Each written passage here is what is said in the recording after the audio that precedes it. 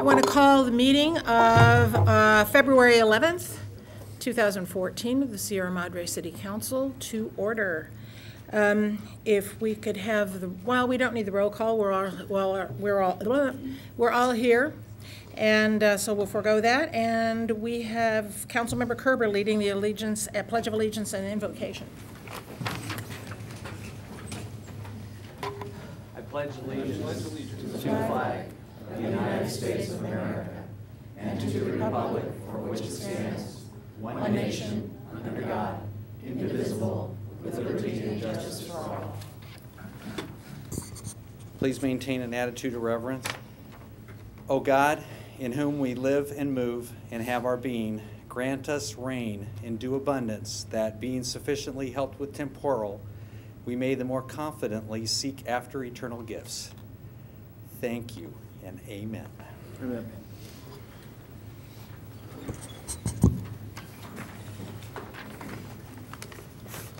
All right.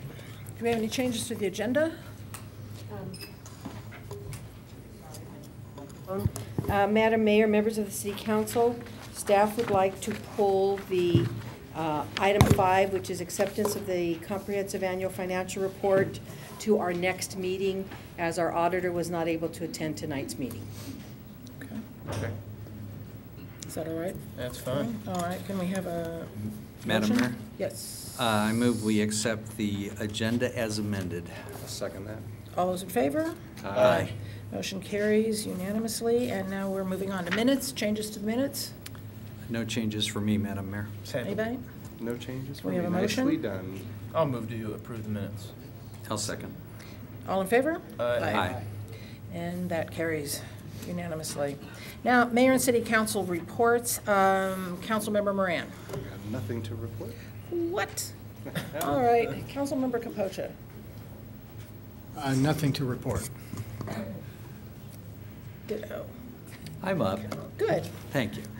Um, Since I had announced that I was not running for office, I would like to thank all the good people of Sierra Madre for the well wishes I've received from so many of you in person and phone calls and cards and emails. With friends and supporters like this, I'm a very rich man. Thank you. Mayor Pro Tem.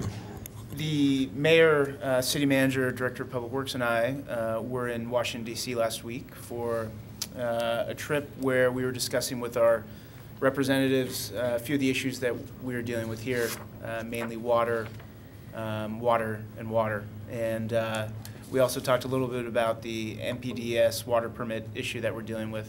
Um, overall, I, I think it was a very fruitful trip, and I think it was enlightening for us, and I think it was enlightening for them, uh, our representatives and, and their staff, as to exactly what we're going through. Uh, we first met with Congresswoman Chu, and um, we spoke mostly um, about our $20 million uh, WRDA allocation that is currently uh, in a bill that is going to be introduced in the near future here.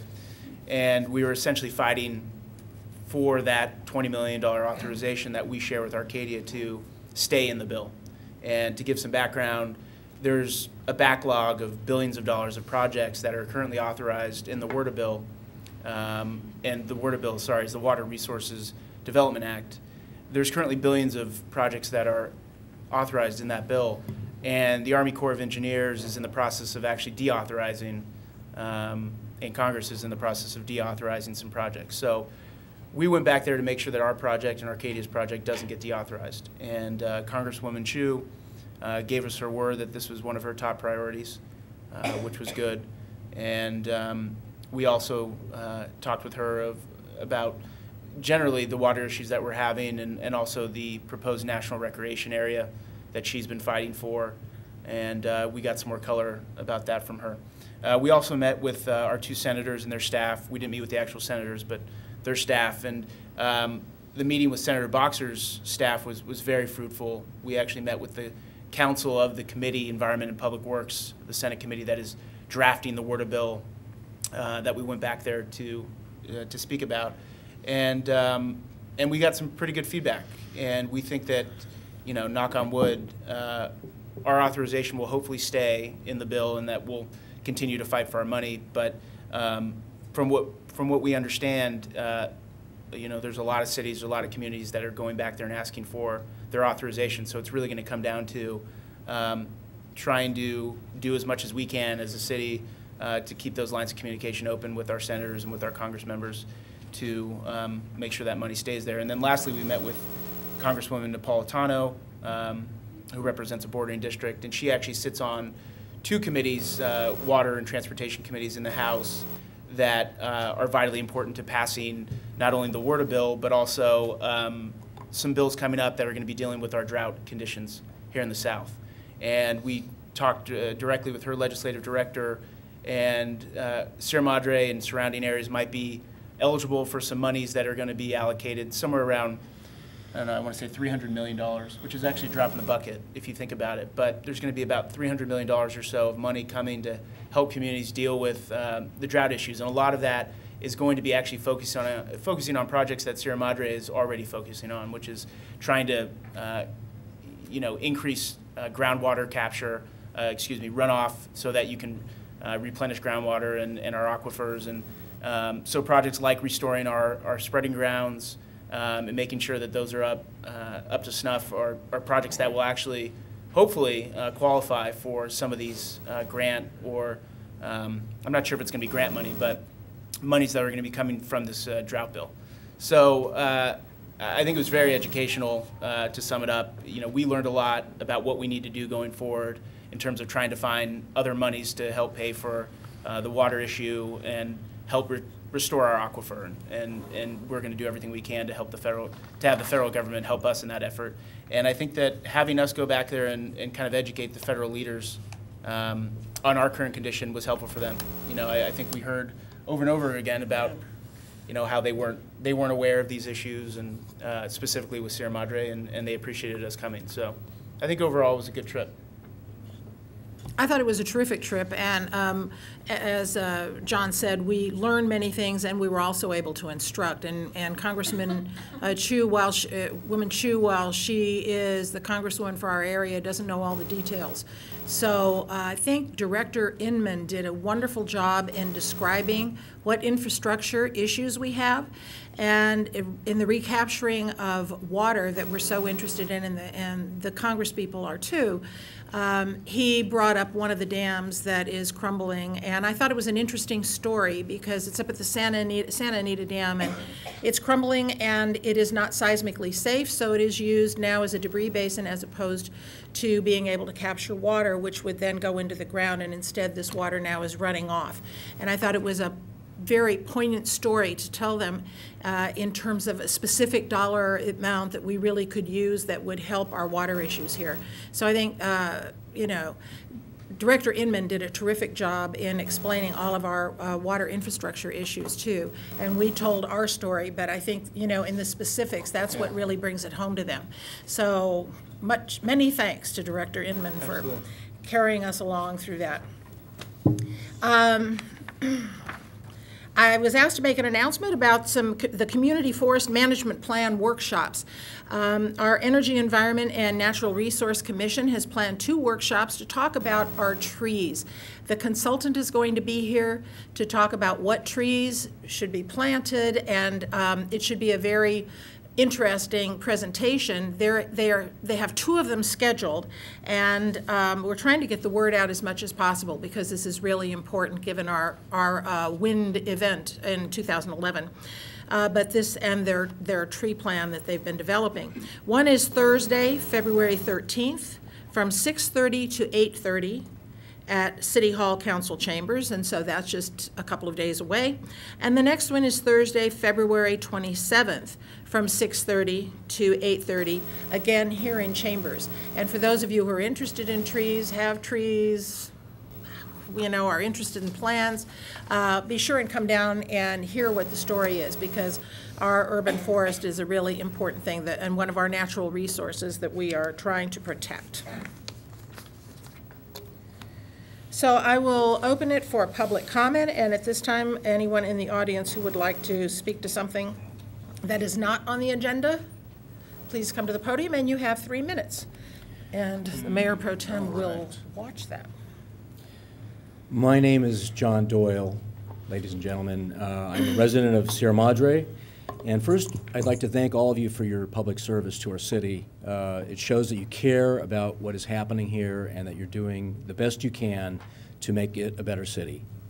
Uh, I am a member of CARE Sierra Madre, which is a coalition of people that are concerned about the effects of secondhand smoke in residential multi-units. Uh, I am here to thank you for placing this on the agenda at the next uh, hearing uh, next month on February 20, or on February 25th. Uh, And I also want to urge that you keep this on calendar. This has been tabled a couple of times in the last uh, year. Uh, We haven't really discussed this issue before you for, for almost a year, and I would ask that you keep it on schedule uh, and not table it again, uh, because even though there are many other pressing issues for the city, uh, being able to breathe clean air is important. It's important to me. I have a nephew uh, who is a heart transplant victim. We uh, experience cigarette smoke in our home every single day. And uh, it's a problem for him to be there. It's a problem for other relatives that have respiratory problems. I'm here to speak for them, and uh, I just want to thank you.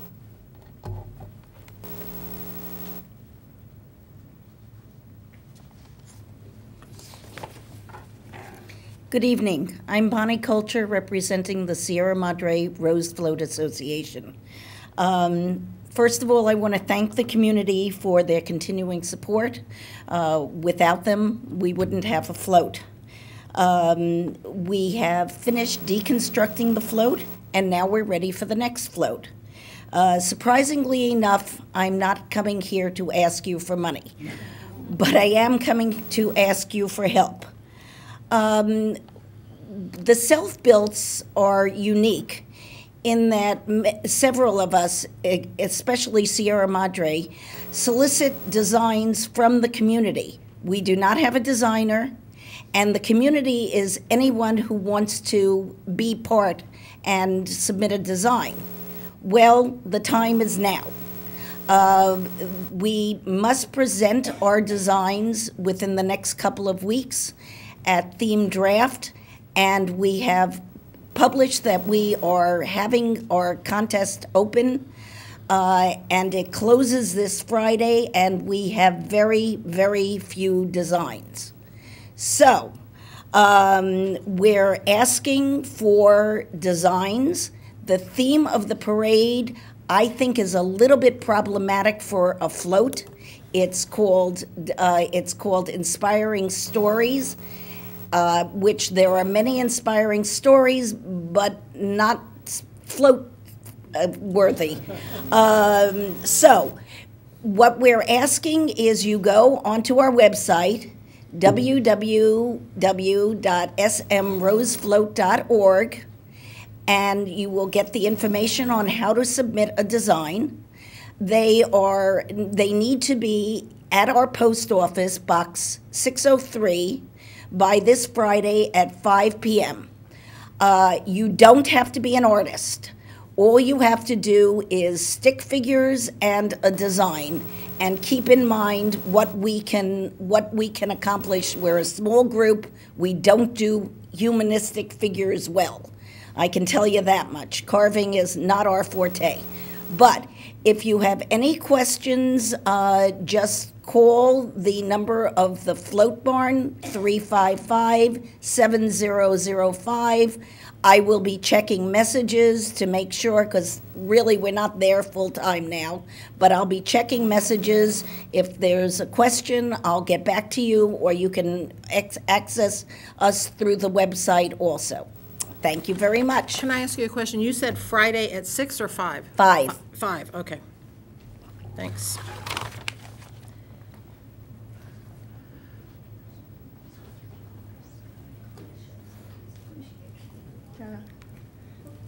Uh, Good evening, my name is Lucy Grant, I'm a resident of Sierra Madre and a member of CARE Sierra Madre. And um, so I'm just helping to work for a clean air residential environments for multi-unit housing. And so I want to thank you for bringing it back as an issue. And um, when my neighbor visits, um, the smoke comes over, and her daughter visits, the smoke comes over, and I have to shut up my place and hold my breath when I walk out the door. And actually, I had to avoid her. I wanted because because I just didn't want to sit there and breathe all the smoke, and so I kind of had to go the other direction. Because I get bronchitis, that seems to be my weakness. And every year I used to get it when I was teaching, and I don't now, but I know that that's a weak part of me that gets that gets sick. And um, so I was thinking that people are another natural resource that we want to protect. Because I'm all for the trees too, but for the people also. And so thank you very much. Thank you.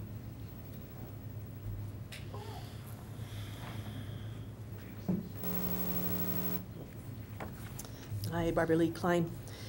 Uh, Wonder if there could be some further comment made on the trip that you all made back to Washington DC.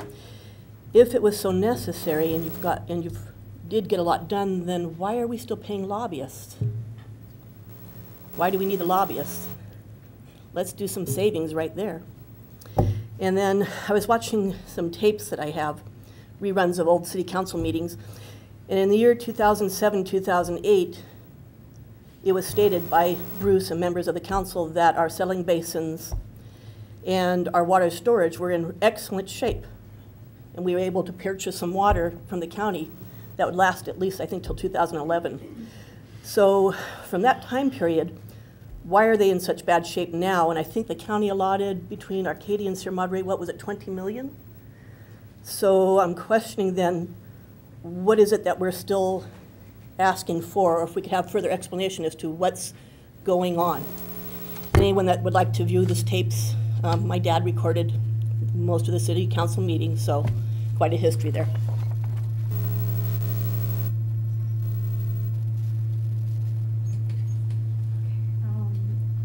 Um, Michelle, and then I'm a, um, I live in Sierra Madre, and this is my daughter, two years old, Autumn. And I just want to also share or just uh, raise awareness about the secondhand smoking in the multi-housing complex.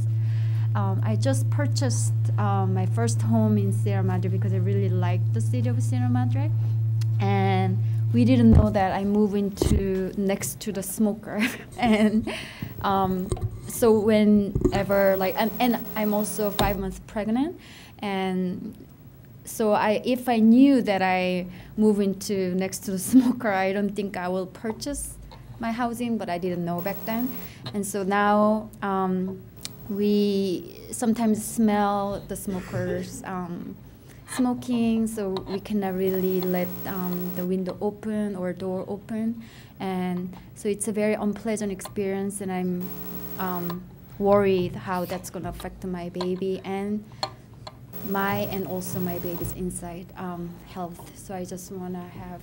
Um, I didn't know that in Pasadena there are law that prohibits the multi um, the second smoking um, in multi-complex housing. So I want. I hope that Sierra Madre will pass the law too, so that we will have more safe and carefree environment to live in. Pam, I have one question for you. Mhm. Are you in a condo or single-family home? It's a condo medium. It is kind of, okay. Yeah. th- Thank Mhm. you.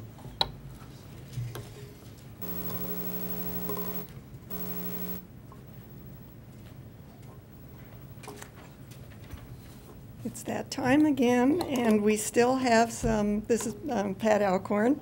We still have some tickets left for the uh, wine taste, um, particularly the uh, premiere event, which normally sells out by now, but there are still a few tickets left. So I'm urging you to um, get your tickets very soon. The wine taste is on the 21st of February, that's a Friday night. The premier event is at 6 o'clock from 6 to 7. The uh, regular event is uh, from 7 to 10, I believe, 7 to 9. And uh, it promises to be a really great event this year. So I'm really hoping that um, you'll all want to attend. I have tickets here, so if you don't have a check tonight, let me know that you still would like to buy the tickets, and I will put them aside for you. So thank you very much. You.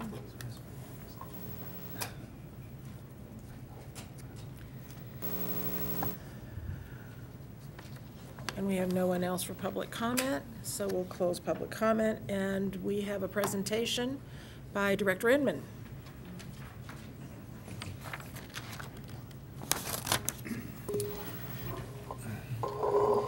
Good evening, Honorable Mayor and members of the City Council. It's uh, my monthly water supply update.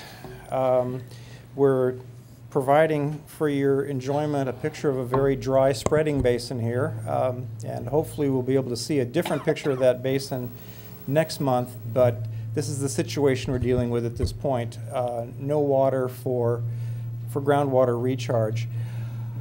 Uh, Our production for January 2014 exceeded the uh, prior year by almost 9 million, well, 8.7 million gallons. Uh, That's an increase of 16.6% um, over the prior year. So uh, we didn't do a a great job of of conservation last month. However, we're looking a lot better this month. We've turned that trend around, and we are at about 12% conservation this month over uh, last February, and hopefully that, that trend will continue. Um, You've seen these numbers before in previous uh, presentations. The, the green numbers on the right are the, the, the conservation numbers. The, the red numbers are where we have exceeded the prior year. Going into 2013, again, uh, we exceeded the prior January is pumping, but we have uh, gone back into conservation mode, at least for this first part of February. The chart at the bottom uh, gives you a graphic of our conservation since June. Uh, The, the orange bars are the current year, and the, the lighter colored bars are last year. I don't think it's news to anyone that the drought continues. Um, I wanted to make sure I pointed out just how significant it is for Sierra Madre. Uh, we've only had two and a half inches of rain measured um, at our official station this year. Um, not good. That's uh, badly affecting our ability to capture water for, for groundwater recharge. And it also affects the amount of water that is needed for, for irrigation locally. So uh, not only do we have less water to put in the ground, but we're typically using more water. I wanted to also touch base on uh, the persistent discolored water that we have. Um, It's most prevalent in areas where our system has reduced circulation, such as in cul-de-sacs or in some of the streets up on the northeast area of the city, such as uh, Vista and Elkins. The primary means we have of dealing with this is the flushing of fire hydrants. And at this point, there are 30 places each week that we are flushing and another 25 that are flushed, flushed on a monthly basis. And whenever possible, I've seen a number of comments on Facebook, whenever possible, we are flushing into our water tanker so that we can reuse the water. We're using it for irrigation or we're taking it to the spreading basins for recharge. Unfortunately, that takes a great deal of manpower and it takes a long time because it we'll fill up the truck with each hydrant that we flush and then we've got to drive the truck back to the spreading basins and empty it or drive it to some place and water some plants. And so it, it really cuts into our effectiveness in flushing the hydrants and we're trying to give priority to getting the hydrants flushed and, and the water as clean as possible. In, the regard, in regards to the colored water, we have consulted with a number of sources to make sure we're doing everything we possibly can. We've talked with other water companies, water districts. We've had uh, water quality consultants in. We've spoken with the state health department, as well as senior staff and chemists at, at MWD. And we've been assured that the discoloration is not unusual for a change in the water supply like we've had. Uh, But just to be extra special safe, uh, we're scheduling meetings with additional experts in the coming weeks to see if there's any other options that may have been overlooked uh, to help deal with the situation. The good news I have for you is the county is storing water for us uh, for, uh, for Huck Finn Day. They're keeping it behind the dam, and they will give us the water uh, within a day or two of Huck Finn Day. uh, so that we have it for use for that program. Um, If they give it to us any sooner, it'll be gone before we have fish. So with that, I'll be happy to answer any questions you might have. Any questions? Sure. Director Inman, uh, the, the discoloration is rust, basically. That's correct, it's rust. Is, is there any harmful effect of drinking rusty water? I know most people won't, but Most people won't. I would prefer not to, Yeah. but there's, we- we've been advised by everyone that we've spoken with uh, that there is not a health issue involved with that. Are- It's a- is- it's an aesthetic yeah. issue. are, is there any filters that are particularly effective in removing that, Um, to your knowledge? There are filters, I understand, that, uh, the, the standard kind of filter you can buy at Home Depot to put on your kitchen faucet is, is effective in removing that. But over a period of time, most of the city is not seeing this discoloration anymore, uh, but over a period of time, as the rust comes out of the system, we'll get to the point where we won't be seeing that anywhere in town. And some of it is local uh, pipes within the house. That's correct, yeah. The- Yeah. It's, it's not limited to just our own distribution system, but anyone with galvanized plumbing in their homes are seeing the rust coming out of their own Yeah. plumbing. Yeah, yeah, I'll just say that that's my case, because my neighbor's not having any problem at all, but every morning I have brown water until I flush it out a Yeah. little bit, yeah. I've got that as well. Yeah, But but I, I- I do live on a cul-de-sac. Okay. But the triple osmosis system that they sell at Costco Mhm. works wonders for the drinking water. I, I do want to say, though, in my case, I am bucketing the water and carrying it out to the plants. He's got to keep it below, s- he's going for three, I think, three units? Three units? Wow. I just got my bill, it was nine, so I've been eight, Slipping a little eight, ten, and nine for the last four Nine. periods. You're yes. slacking. Very, yeah, no. Uh, Director Inman, uh, do we think the flushings are gonna consistently happen, you know, in the near term, or do you think we can scale back? I've received a few emails and calls with, you know, people that live on those streets that see the flushing and, you know, they're like, why are we wasting so much water? And, uh, you know, they, they're just concerned that this will be a continued practice and that we're gonna waste a lot of water, so. Well, just to, to be sure, we have always flushed hydrants. It's something that we have to do on any of our dead-end lines to keep water from stagnating in those pipelines. We need to keep water in the, in the short pipeline between our main in the street and the hydrant itself. We have to keep that flushed to keep the water from sitting in there. So we will always flush hydrants, but we expect that the current process we're doing is going to taper off and we'll be able to reduce the frequency to a certain degree. Thank you. Thank you. All right, let's move along to the consent calendar, Madam City Manager. Mayor, members of the City Council, on the consent calendar, items A to F. Item A is adoption of Resolution 1414, approving the city's demands. 1B is uh, incorporated resolution authorizing application of federal excess personal property. Uh, This item is on the agenda, uh, Resolution 14-13, so that uh, some federal excess property the city's had in its possession um, can be um, returned to the federal government. At item C is the cancellation of the first regular meeting for the month of April. And that, of course, is the date of the election, and this council chambers is used for the um, tallying of the votes. At 1D is the second reading and adoption of ordinance 1351, setting water and sewer rates for fiscal years ending 2014 through 2018, and the recommendation is that the city council read by title only and adopt ordinance number 1351, setting new water and sewer rates effective March 1st, 2014. Uh, At consent calendar, item E is the second reading and adoption of ordinance number 1352, which was a municipal code text amendment to allow for transitional and supportive housing and emergency shelters. And uh, consent calendar item F is a, a brief report regarding um, the city's current practices for disbanding Brown Act committees, and the staff recommendation on that item is just to receive and file. That concludes staff's presentation. I'd be glad to answer any questions. Have we questions? Madam Mayor? Yes. I'd like to make a brief statement on 1F on disband- disbanding Brown Act committees. Right.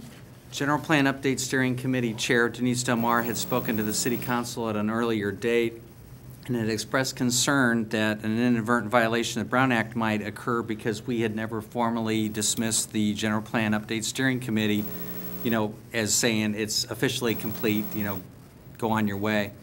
After reviewing past policies as it's applied to other uh, Brown Act committees such as the Canyon Zone Committee and the Parks Master Plan Committee, I believe we should keep the current policy as is, which is basically once you're done meeting, then it would not be a violation of the Brown Act because you're no longer a committee.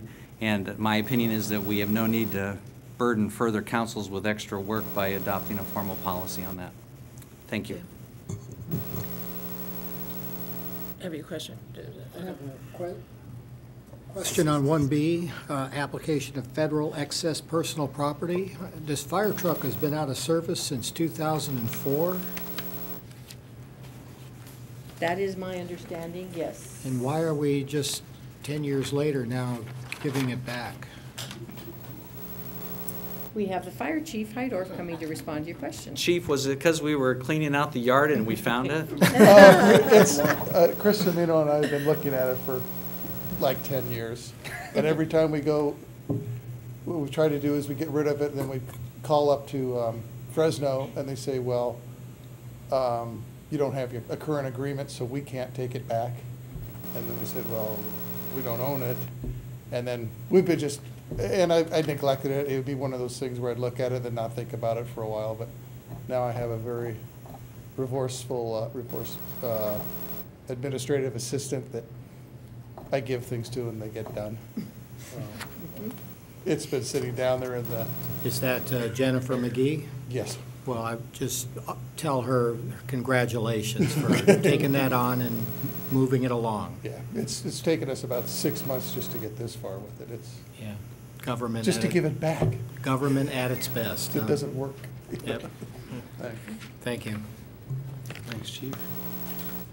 I, I did want to note that uh, in that agreement from 1982, it was a 213-355-1414 number, which I had forgotten we were 213 when I was a little kid. I remember 818 and the 626, but I don't know about you, Councilmember Capoccia, I don't think 82 was that far back.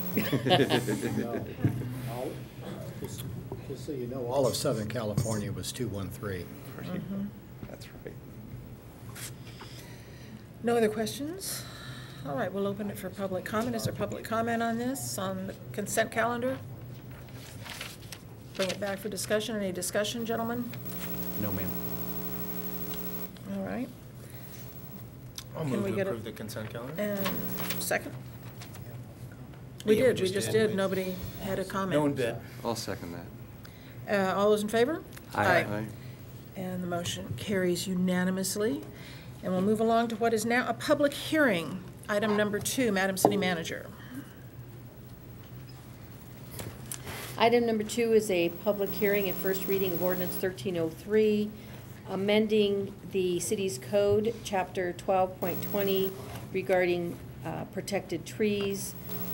I would like to, before Director Inman comes up to give the staff report, just mention, um, it's not uh, a deja vu. You did have first reading of this ordinance at your last meeting, uh, but uh, at staff's recommendation, in order to publish a, a summary ordinance to save money, uh, it was necessary for the city council to have first reading again this evening, so we can publish a summary. Second reading, if it passes, we'll go to your next meeting, and we publish a summary again, but it's, we're publishing four inches of material instead of fifty inches of material, so. um, Just in case you think you did first reading already. But I'll bring Director uh, Inman up at this point to, to uh, present the staff, a summarized version of the staff report, because you did get it uh, last meeting. Thank you, and I, I really don't have too much to add to that. Uh, As you know, you went through this, uh, this whole discussion of this ordinance at your last meeting. Um, This is, is really a, a matter of bringing it back so that we can uh, be economically feasible here and, uh, and save some money on publication costs. So uh, there, there are no changes in the ordinance from, from what you looked at last time. Um, And again, there is a summary ordinance that's attached to this ordinance, that is attached to the staff report that was prepared by the city attorney, and I would be happy to answer any questions that you might have at this point. Are there any questions? I don't have any questions, but I'm sure uh, Chair Blanchard was probably disappointed that this was so early in the meeting tonight and that we're actually getting through it. She sounds so disappointed. That's true. We probably should have put it last, just so she'd feel better. Retrospect. Ah. This is not 10:30. I, I do have one question, Madam Mayor. Yes, Councilmember. Director Inman, if you could kind of sum up uh, Section 14 on the heritage trees, where we stand right now, so I'm a little bit, Okay, section 14 on the heritage trees. Um, Essentially, what the commission has recommended was that we, we change the description from heritage to landmark trees. Uh, Excuse me, Legacy. yeah, legacy. That's what they're here for, to keep me in line. Uh, Legacy trees. Landmark trees. Uh, This is a purely voluntary uh, program. Uh, Nobody will be forced to have a landmark tree if, uh, if they don't want it on their property. Um, It will be something that each nomination will be taken to the uh, Energy, Environment, and Natural Resources Commission for approval. And then once a tree has been designated as a landmark tree, it will be provided the same protections as our trees that are protected by, uh, by species. Um, Beyond that, I, there's not too much that I can, can add, unless you have a specific question. I, I do have one. If, say, owner Smith, you know, sets up a landmark tree and then sells to Jones, and Jones doesn't want to recognize it as a landmark tree, what happens? Well, then Jones can come back to the commission and get it de-designated, basically. And if the commission refuses? I don't think that's going to work if this is a voluntary program. They're going to, in all fairness, I think that, that, I'm, I'm sure the commission is going to find a way to work with this and, and, and resolve those sorts of issues. Thank you. Sure. Yeah, Director Inman, just a, a concern I've had is again with the, the mitigation. Is, are we, are we, we're, we're not able to track how much we put into the tree bank per se. It's part of the environmental funds the city manager was explaining to me. And um, just, it just seems to me that we don't have a proper mechanism to ensure that when mitigation is, uh, eh, there, when somebody does opt for mitigation, and uh, do we follow up to see the trees are actually planted somewhere? Is, is that is not, is that hard-coded into the ordinance? That's not something that is coded into the ordinance, and I don't think that it's necessarily something that has to be in the, in the document itself. It's something that we can work out as in internal procedures. Uh, For example, in terms of tracking the money that comes in, that is something that we can work with uh, administrative services to make sure that the money is, is tracked and designated to the right place. Um, and We were talking about that just today and making sure that that gets, gets Okay. taken care of correctly. All right, I, I just, uh, just my opinion myself is I, I would like to see that happen, that when we do mitigation, that we actually follow up to see that those trees are planted somewhere. Okay? Thank you. Other questions? Thank you. We'll open it for, oh, I'm sorry, I do have one other question, and I'm not quite sure which section it is. Right now, if someone wants to take down a protected tree on private property and it's not tied into a development permit, so I decide I want to take down an oak tree in my backyard, is it still six months before they can turn around and put in an application? Is, is there a time frame in the, what draft we have here?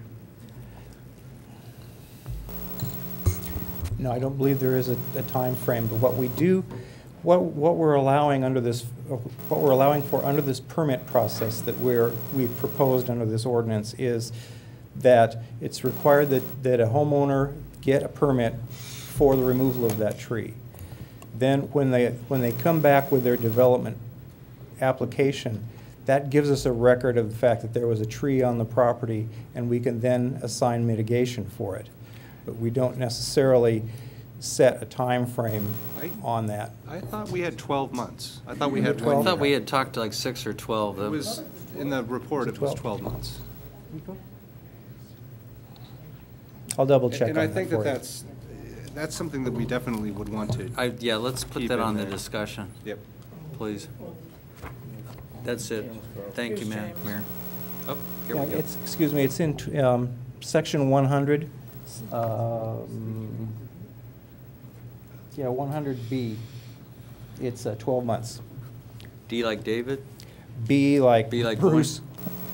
Oh, wow. Be like Birch. Bruce. Okay, and it is 12 months? Yeah. Okay, thank you. Is that it? That's it, Madam Mayor. All right, we'll open it for a public comment. If anybody has a public comment on this, it's a public hearing, so you've got three minutes.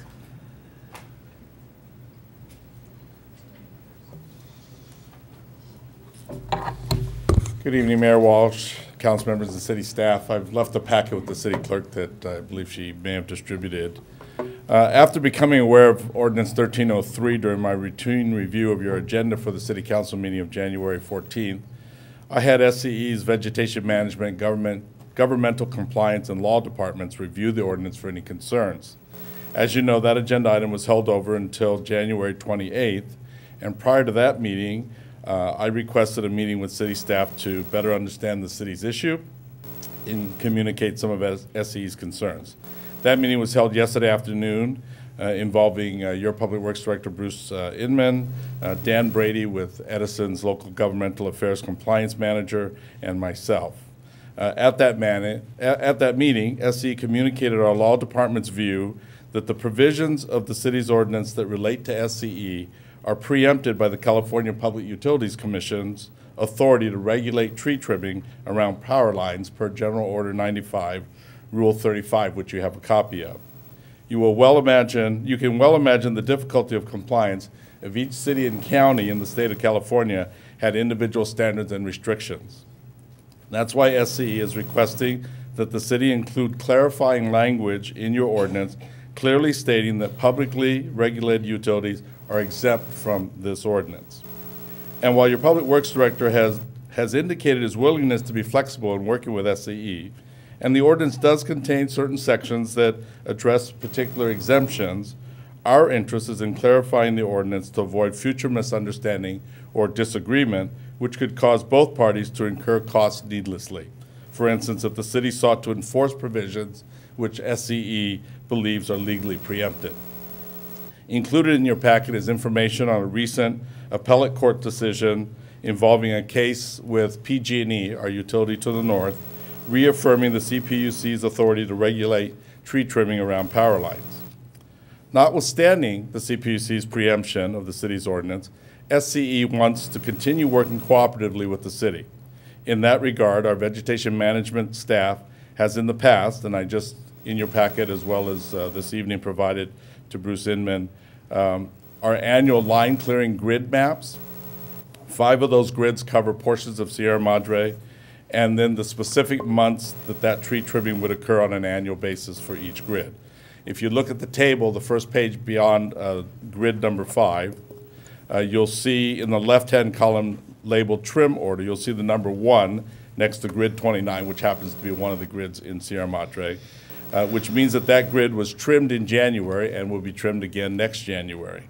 Grid 31, about halfway down the page, for instance, has the number three, meaning that SCE line clearing crews or contractors will do that area in March. The monthly schedule for each of the five grids has remained the same for a number of years since our line clearing activity, which involves inspecting and uh, trimming where necessary, uh, up to 1.4 million trees in our service territory, is done on an annual schedule. So I think and hope that that would meet sort of the spirit of the five working day requirement that your ordinance is proposing.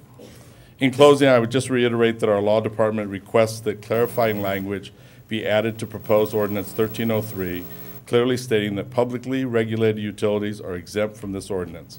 I can provide contact information for our law department should your city attorney have any questions or need to work out specific language.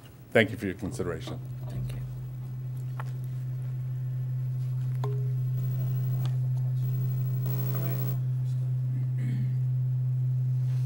There's no other comment, so we'll bring it back here for discussion.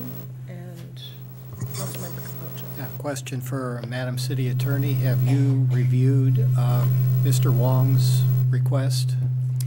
I have not reviewed the case that has been cited. I'm just now looking at it. I became aware um, uh, later this after, earlier this afternoon, that uh, So- Southern SoCal Edison had a concern um, specific to whether or not the city could require a permit at all for the trimming.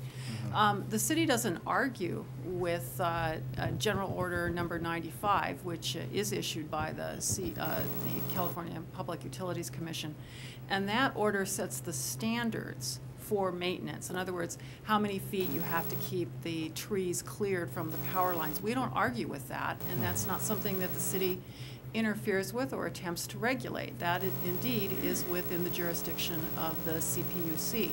However, we still, um, we still believe that the city does have the uh, power and the jurisdiction to require a, uh, a permit, which is really ministerial in nature.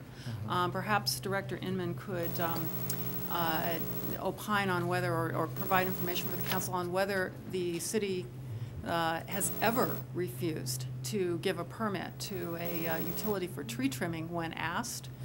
Um, I'm not aware that that has ever happened. There is no charge for it.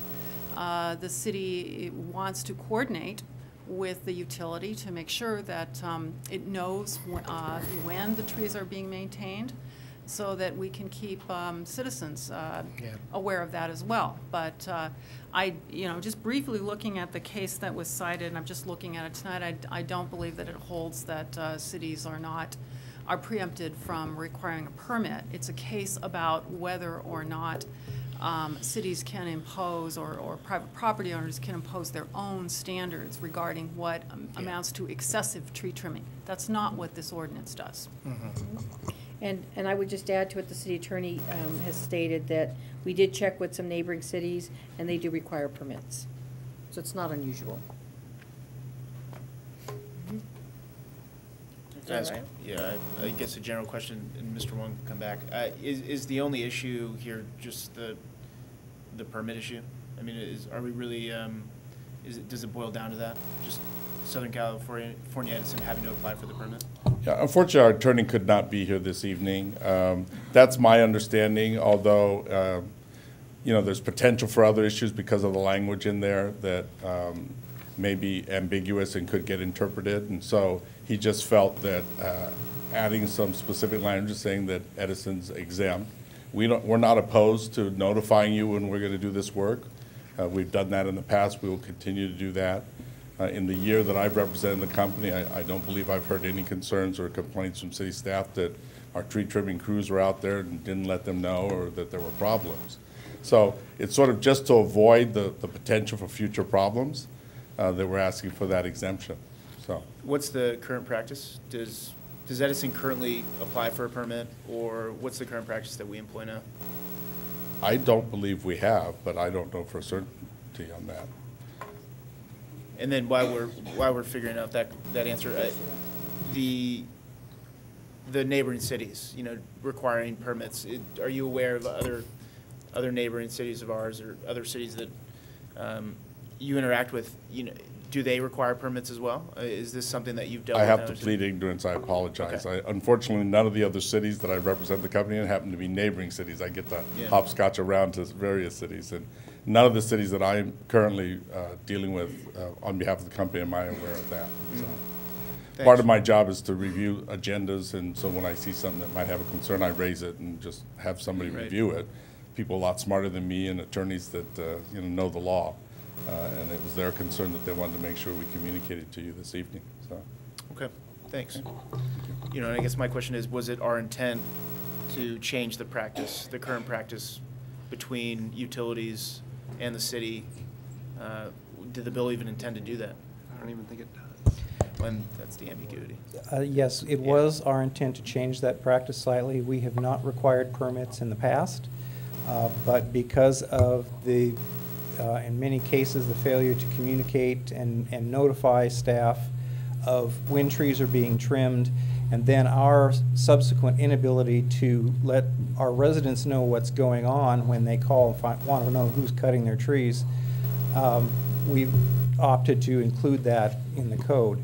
Uh, And staff doesn't see that this is really any different from requiring a utility company to get a permit for something such as a utility pole relocation or replacement, which is something that Edison gets permits for already. Um, Or for the gas company to, to do excavations in the street. Those utilities do apply for permits, and we grant them. In my 17 years here, I don't think we've ever denied a utility a permit to do what they need to do.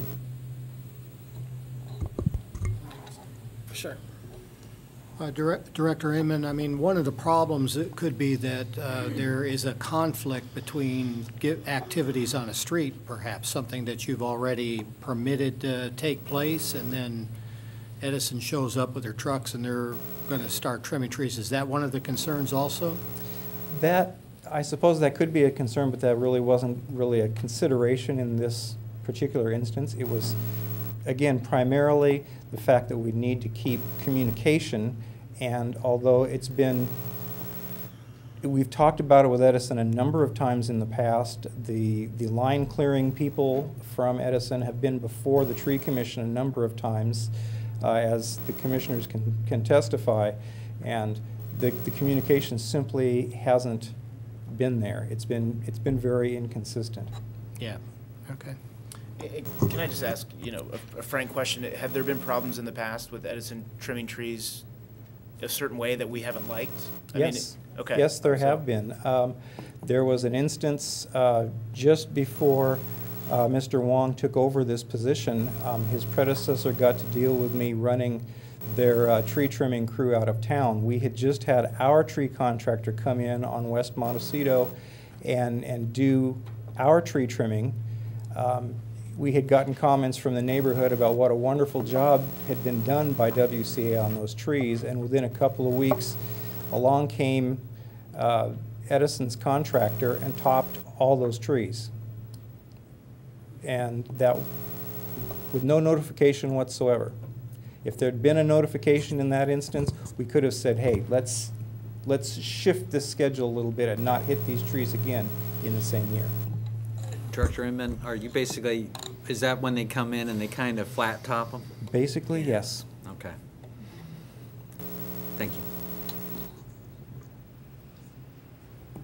Comments? I just respectfully say that we keep the language as it is. It'd be nice to have them pull permits and give us a heads up to coordinate things uh, so that we avoid situations like the one the Director Inman just described. I agree. Yeah, and, you know, I don't, I agree with the city attorney here. I, you know, I don't understand where Southern California Edison is coming from. I don't think that this is a preemption issue.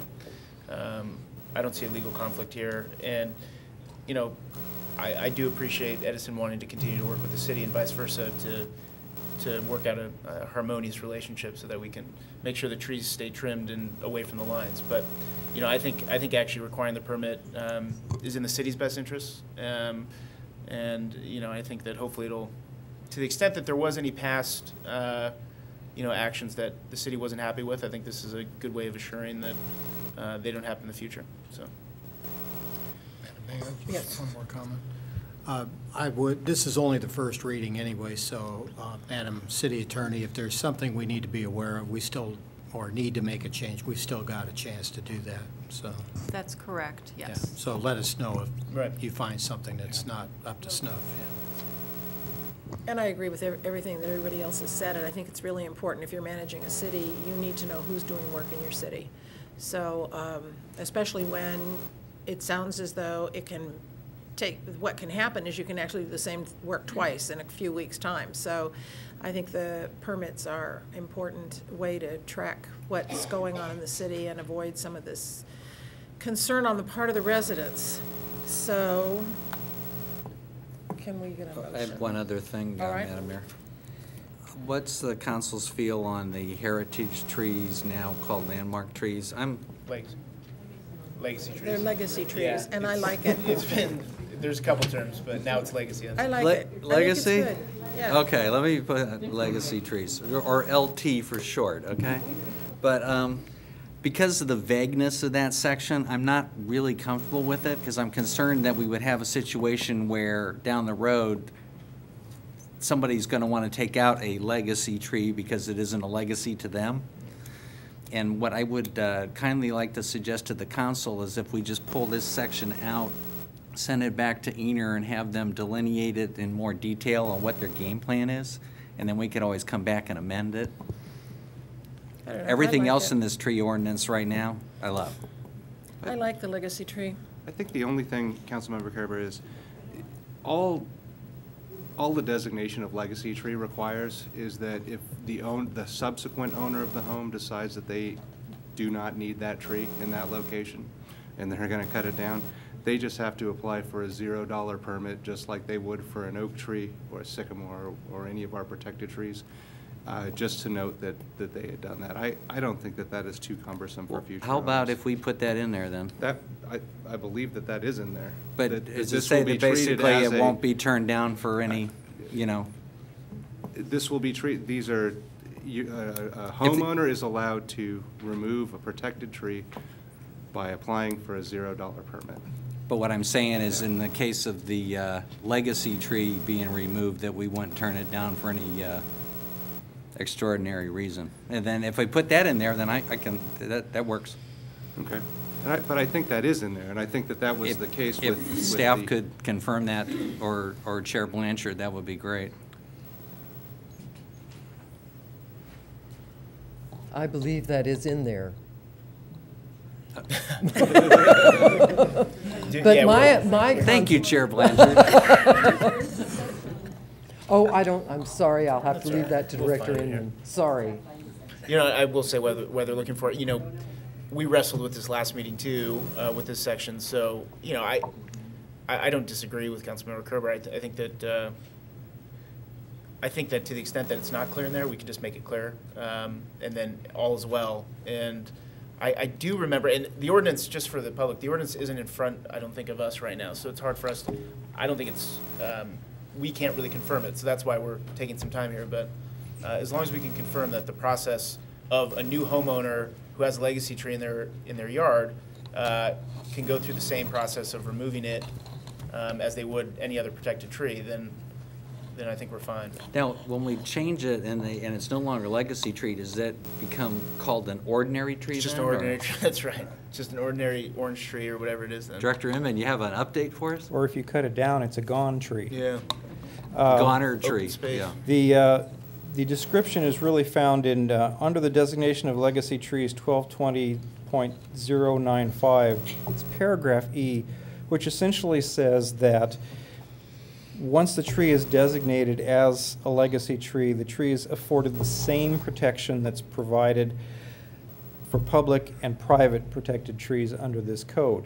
So essentially, they just, they, they are simply treated exactly the same way as other protected trees. And therefore, if you want to cut down that legacy tree because you just bought the place and you don't like the tree there, you just come in and ask for your permit. Thank you for looking that up. I am good with that, Madam Mayor.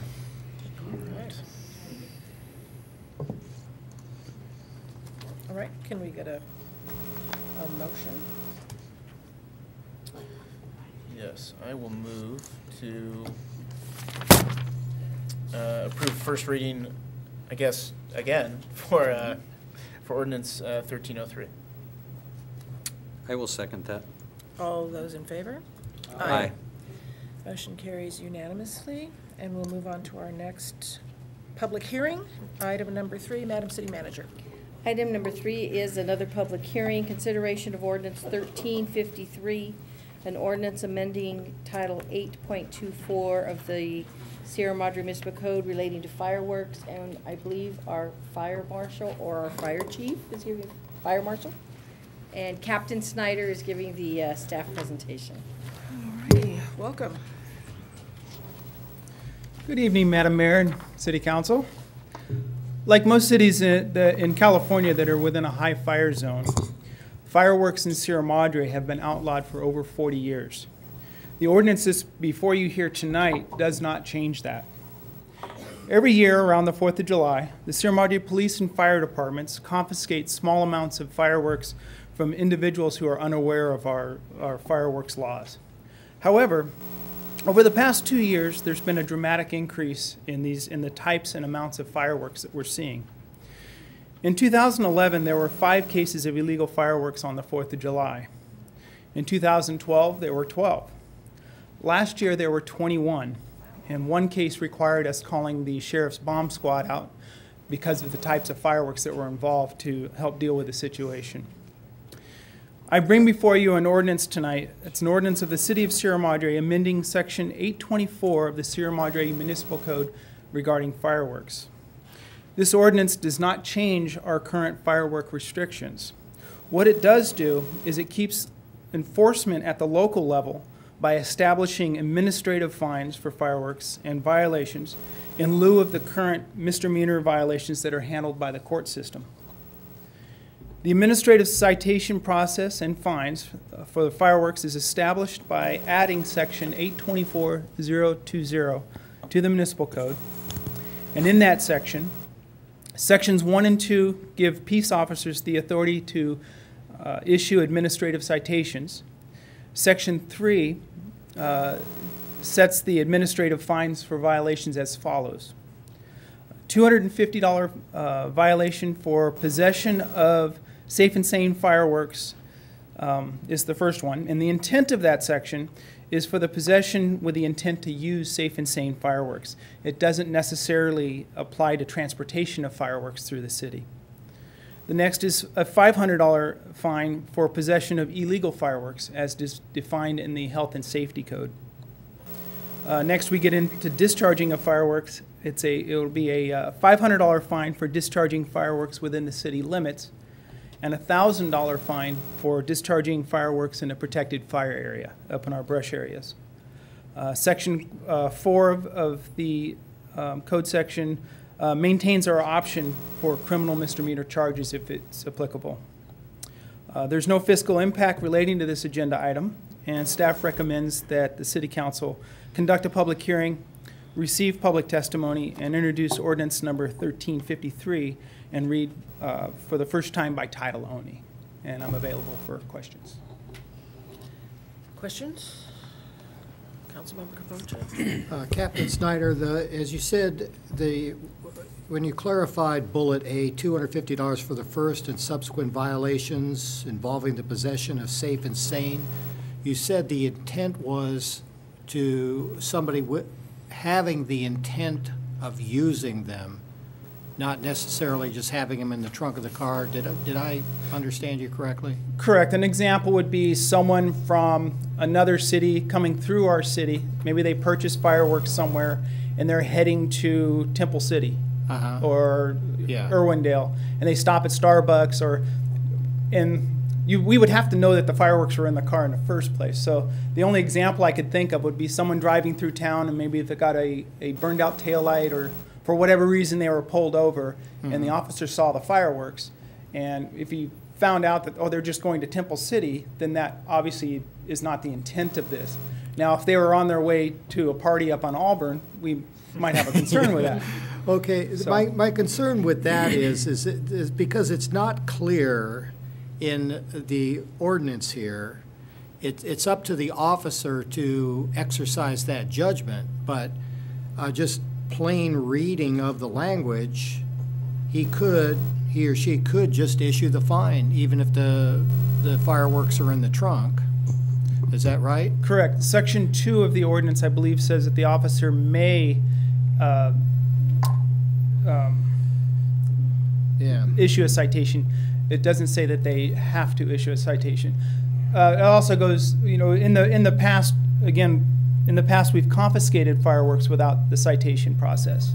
Mhm. And it's one of those things, if someone just didn't know, and it's, it's, well, also boils down to how, you know, what the, the, how the situation dictates it, uh, where we can confiscate without issuing a citation, and we've done that quite Yeah. often. Well, that was my other question. I would think that that language would be in here also to confiscate, giving the officer the right. I mean, that's implied, or is that, because it's not spelled out here either. It's, im- it's implied in section two that they, they do, they, it doesn't say they shall issue administrative warrant. or c- citation, Yeah. they may issue the Okay. citation. Well, see, my thinking was for, you know, uh, bullet B, for illegal fireworks, of course, if you're in possession of illegal fireworks, that you should issue the citation and you should confiscate it, I would think. My concern is just having the possession of safe and saying that it's not clear that really enforcement of this is if in the officer's judgment, they should, they perceive that they intend to use the fireworks here in Sierra Madre. And I'm just wondering if that should be more clear so that, you know, we don't have a case where an officer is confiscating or issuing a fine for something for the uh, situation you de- you described where maybe they bought the fireworks to go down to El Monte and shoot them off there. And, and I think in a case like that, there would be, I believe in the city's administrative uh, citation, there would be an ap- appeal process. You can come in and, and discuss that.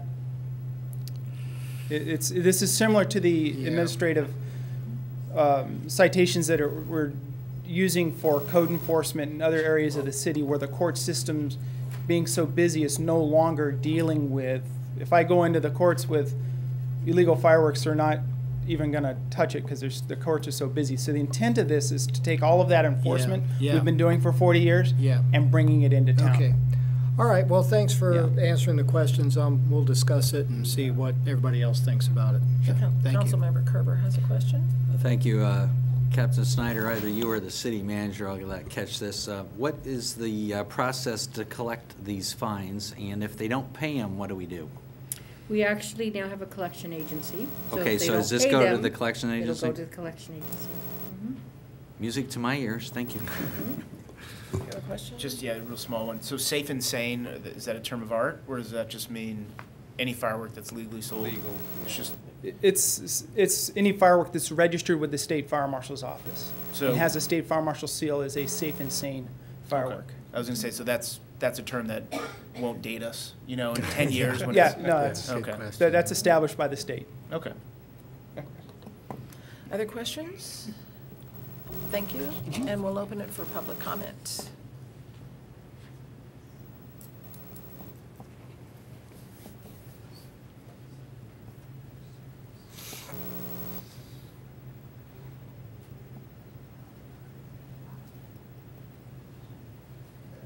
Caroline Brown, Alta Vista Drive. As a part of the Fire Safe Council, I had quite a bit of experience helping the city watch out for safe and sane fireworks in the city limits of Sierra Madre, which is not permitted, but of course is permitted in neighboring cities, and so people might think it's okay to have them because they could buy them legally somewhere. And um, most recently, I found evidence of them, which I picked up and took to the fire department at the end of the Fourth of July day, the very next day, uh, at One Carter. Now, the police department, the fire department, fire safe um, watch, the everybody was sort of caught off guard by the public that showed up on the west ridge of One Carter. And now there is signage everywhere saying no parking. There was no signage at that time. Um, there were probably about 40 cars up there at one time.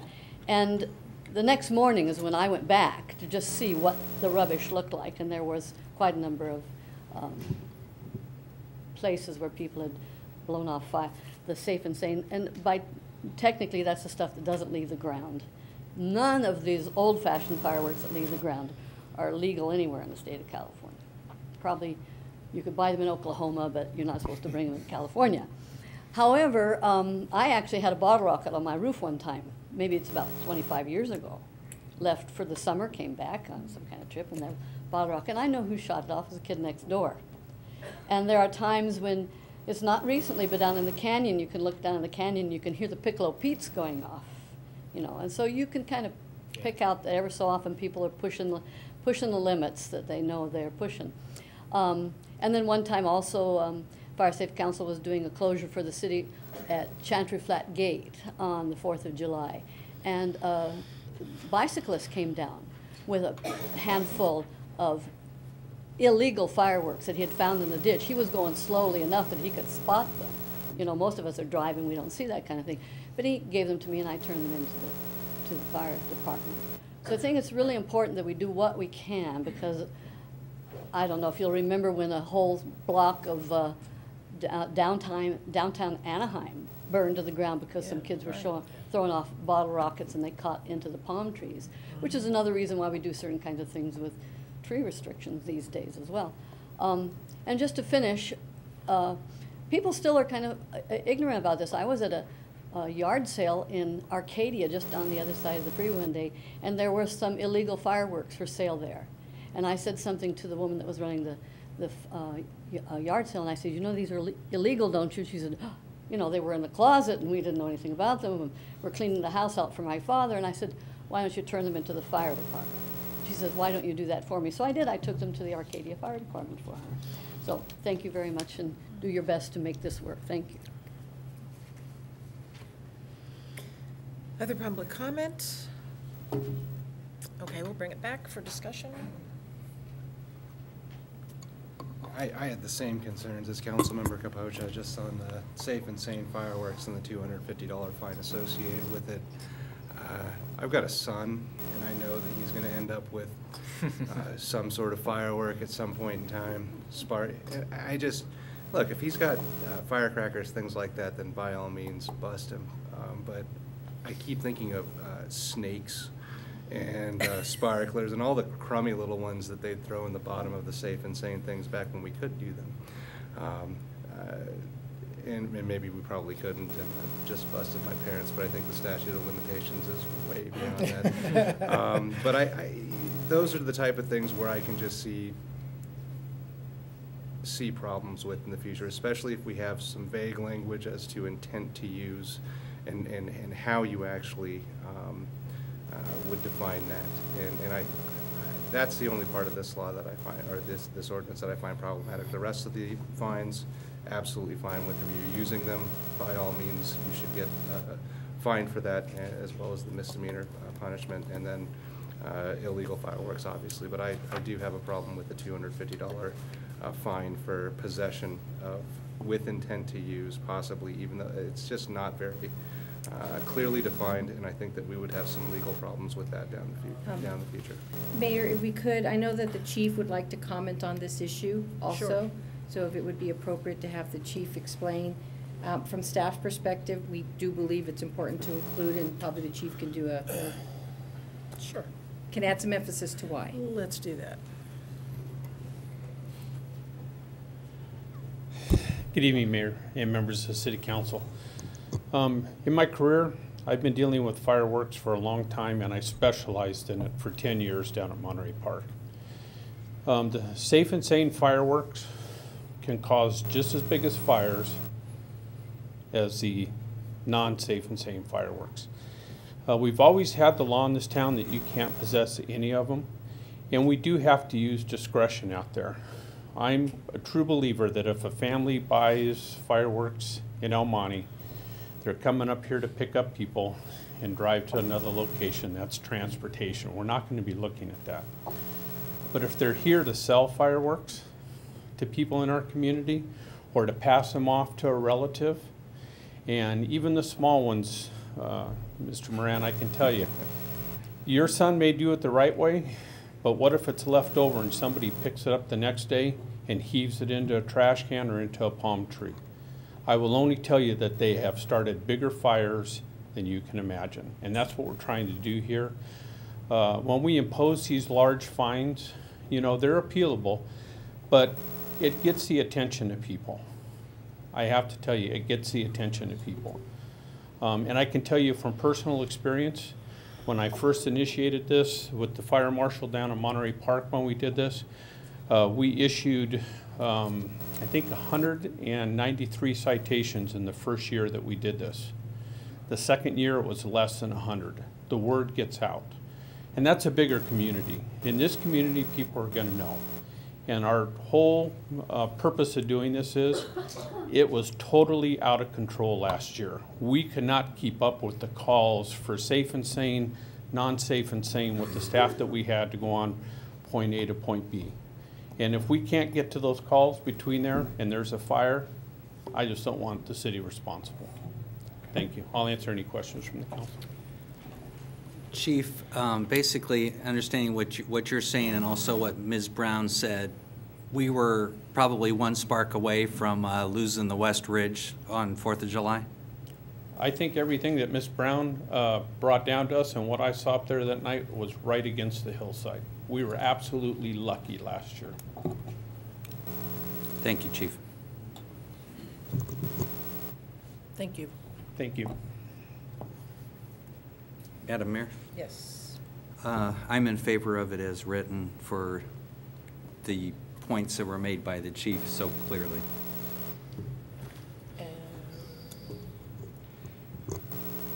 I still don't, there's a lot of implications that there's some intent to use in section two, but I, I don't see So would you? anything involving intent to use. One second, Mayor Pro Tem, if I may. Yeah. Um, With uh, due respect, Councilman Moran, um, in prior life, before I got into insurance and financial planning, I was 11 years in enforcement with the Agriculture Department down at the harbor.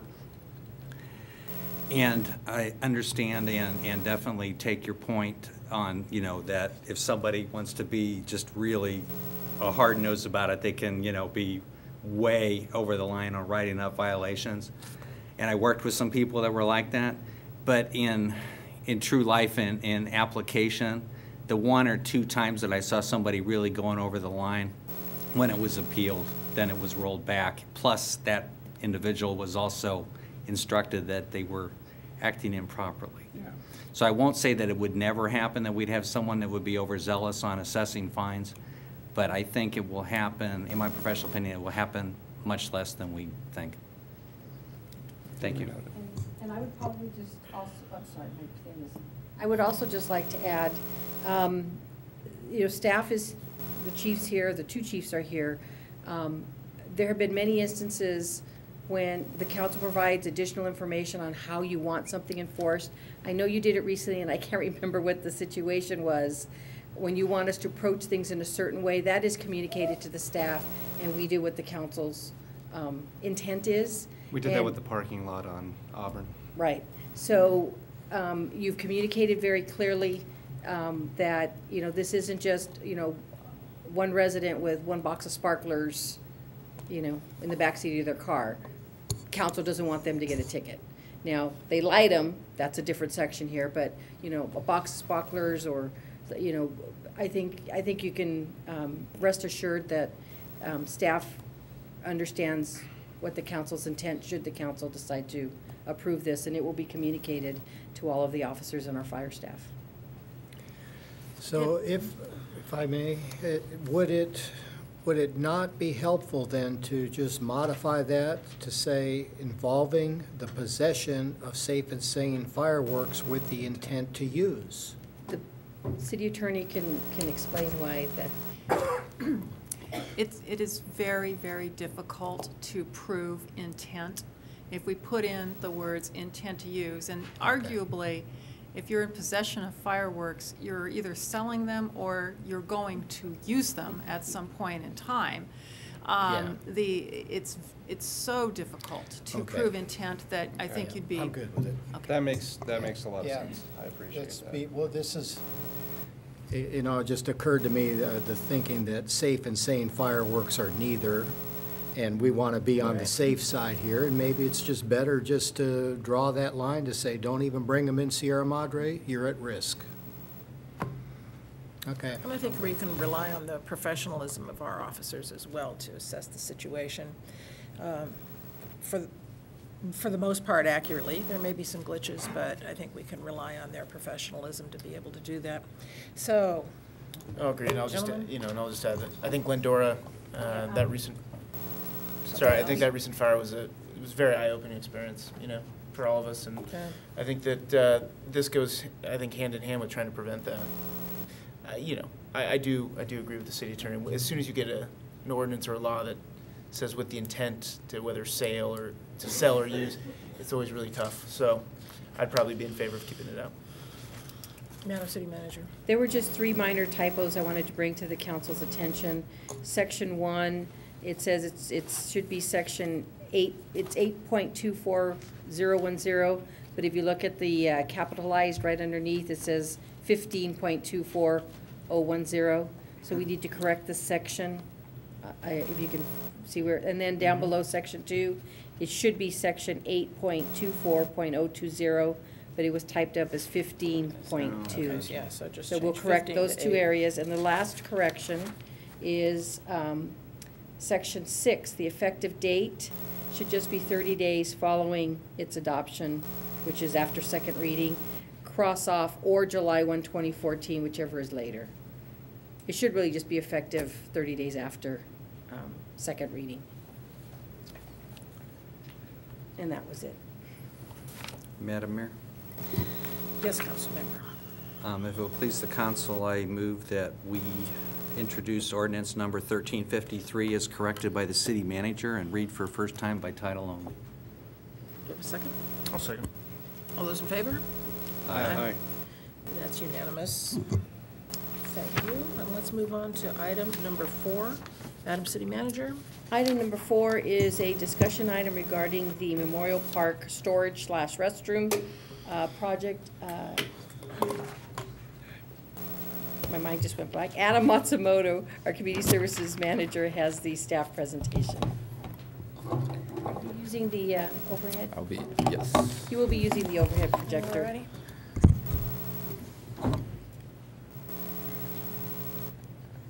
Okay. Good evening, uh, Madam Mayor and members of the City Council. Uh, The City Council had requested additional information regarding storage and restroom options for Memorial Park at the Tuesday, November 26, 2013 meeting. Staff has prepared options for both restroom renovation and storage for the Hart Park House that were reviewed by the Senior Community Commission and Community Services Commission at their respective meetings in December. Uh, the following PowerPoint presentation will outline the options that were presented by both of the commissions.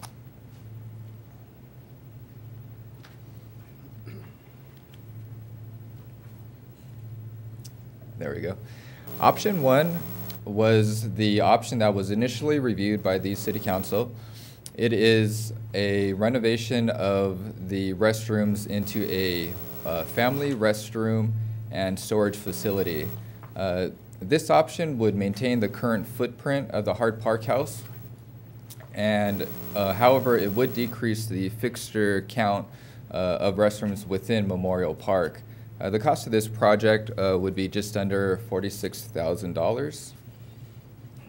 Uh, This is a layout of the, of option one for the family restroom and storage facility. Uh, This section right here is the interior of the Hart Park House, and this section is the exterior portion uh, that are currently the restrooms. Uh, The men's restroom would be converted into a ADA compliant family restroom, and the women's restroom would be converted into a storage facility for the Hart Park House. The second option that was presented to both of the commissions was a freestanding storage shed uh, on the southwest corner of the Hart Park House. The location is outlined in red uh, on the southwest corner of the Hart Park House. Uh, This is the uh, least expensive option of the storage facilities. Um, However, it is the smallest storage uh, facility as well. Uh, The freestanding storage shed would be a a prefab storage shed, which are, uh, examples are shown uh, on this slide. The shed wouldn't identically match the exterior of the Hart Park House, so it would look, or it would appear as a uh, addition to the facility. However, uh, there are different options to closely match the exterior stucco of the Hart Park House. The third option that was presented to the commissions is an actual room addition in the same footprint as option two. Uh, This space would provide access to the storage facility from within the Hart Park House. We would be able to match the exterior, exterior stucco of the Hart Park House, but the roof line would not match as part of this room addition. Uh, The next slide is the layout for the, uh, for the storage facility at the southwest corner. This is the interior kitchen of the Hart Park House, and the access into the storage facility would be from the kitchen area. For this particular option, uh, we would have to modify the kitchen area in order to provide, provide access for the storage facility. Uh, the section right here of the entrance into the storage facility is currently counter and um, cabinet storage space that would be eliminated with this option for a storage facility uh, room addition to the Hart Park House. And that's option three. Uh, the next option, option four, is a storage room addition. Again, the storage room addition is outlined in the red portion of the photograph. This room addition would extend the existing roof line of the Hart Park House and extend out to the uh, back slab of the uh, Memorial Park band shell. Uh, with this room addition, uh, it would provide more of a blending, blending in of the current facility, as well as uh, with the location being the northwest corner, it is tucked away from view from uh, Hermosa and Sierra Madre Boulevard. It sits kind of in the middle of the park, um, outside of general public viewing. Uh, this location does require a relocation of the HVAC as well as removal of the cypress, cypress trees uh, that fall within the footprint of the room addition. Uh, this is one of the larger storage facility options, and the cost is uh, just over $57,000. Uh, this is the diagram for the actual room addition. Uh, the room addition, storage room addition, you would be able to access it from within the Hart Park House. This is the main space of the Hart Park House. This would be the classroom, and this door is the entrance into that storage facility. Uh, a unique uh, a unique item with this particular location is that there was an existing entrance into the Hart Park House um, at this at this site. Uh, it would be easy to create that, reopen that door location to pro provide access for the room addition for that storage space. Option five is a similar option to option four. However, the location is changed to the northeast corner of the Hart Park House. Again, this is one of our larger storage options. It would blend in with the roof line of the Hart Park House and stop at the back slab of the uh, Memorial Park band shell. There is some concern with this option with accessibility since it would pass through the current staff office of the Hart Park House, and that's shown in this slide. This is the main entrance way into the Hart Park House, and this is the current staff office uh, for, for the Hart Park House. The room addition, in order to ac access the room addition, you would need to go through the staff office into the storage space uh, to store the tables and chairs and other amenities uh, at the Hart Park House. Because of an additional door right here, that would most likely displace uh, one of our staff uh, that's currently utilizing the office. Right now, we're able to utilize this office for two staff, one full-time and one part-time. Uh, with this addition, we would have to find an alternate location uh, or alternate means for providing a, a workstation for the part-time staff person. The sixth option is to renovate the current exterior restrooms into one large storage facility and create a add-on restroom facility that would be similar to the restroom facility that's behind City Hall right now. Uh, the cost of the strictly renovating the restrooms into storage would be uh, just over $24,000. And then for the prefab restroom, uh, the cost would be closer to $129,000 to create that addition. For this option, you would have uh, the restrooms occupying park space, and that's designated in the red outline uh, listed in the photo. Uh, we would be able to maintain the fixture count for the restrooms, though, with this option by creating another prefab uh, storage location in this section of the of Memorial Park. Uh, this diagram just illustrates this would be the two exterior restrooms that would be renovated into one large storage facility uh, that would be accessible by the Hart Park House. And the last slide is on the renovation of the current restrooms that are attached to the Hart Park House.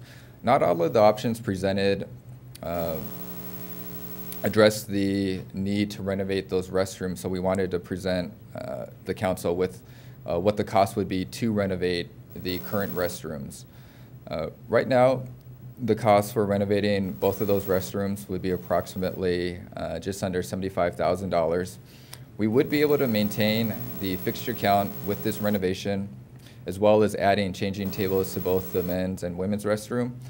And the fixture count would remain the same while being ADA compliant with this renovation of the restrooms.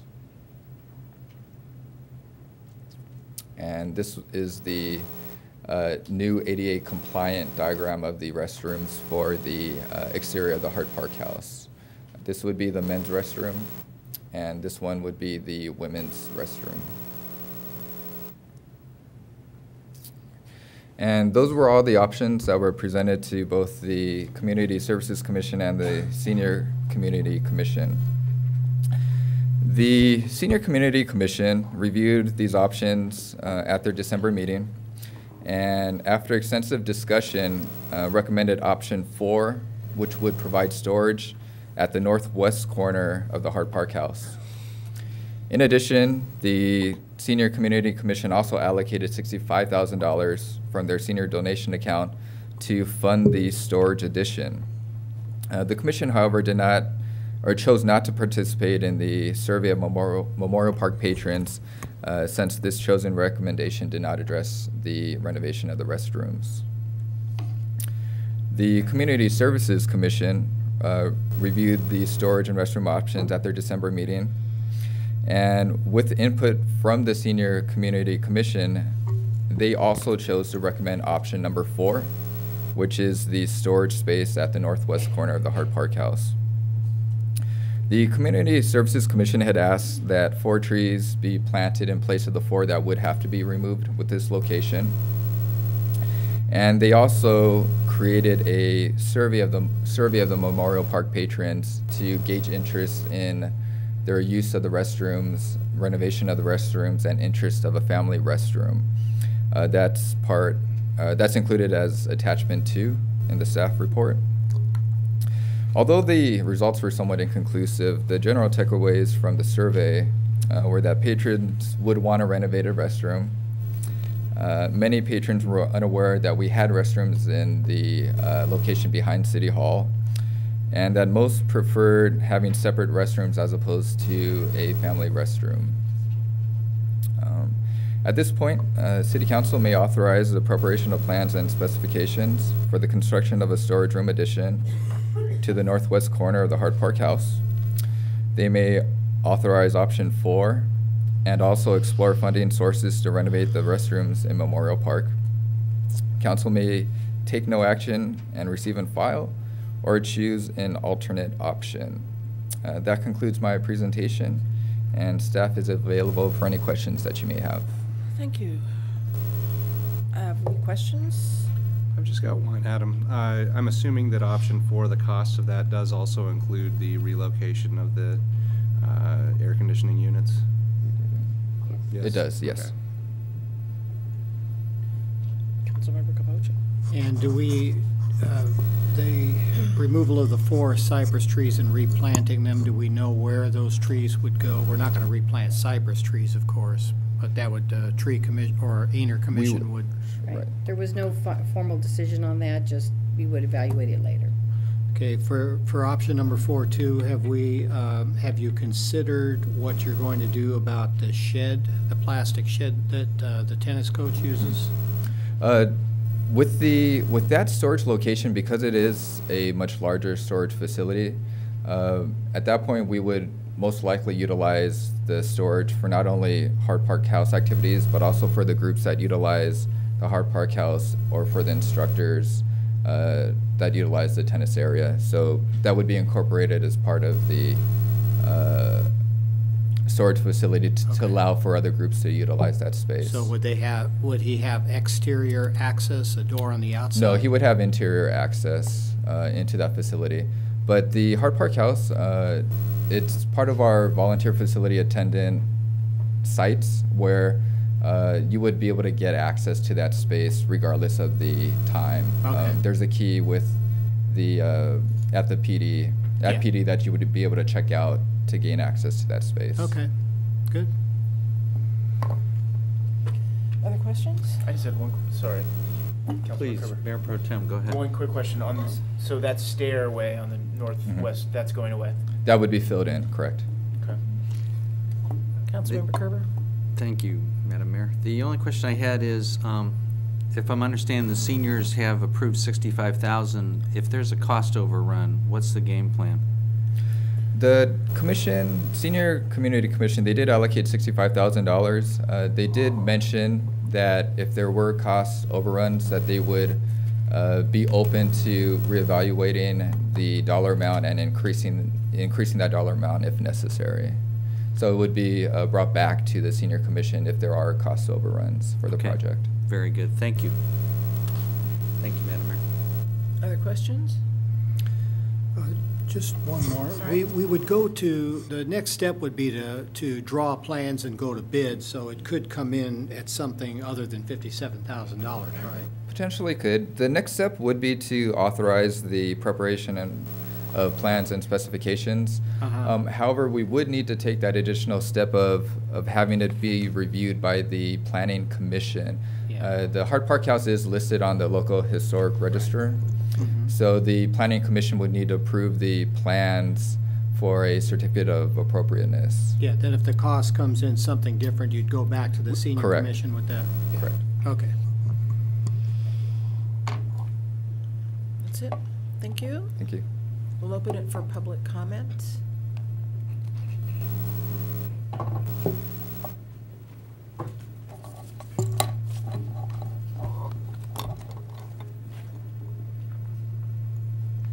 Hi, Barbara Lee.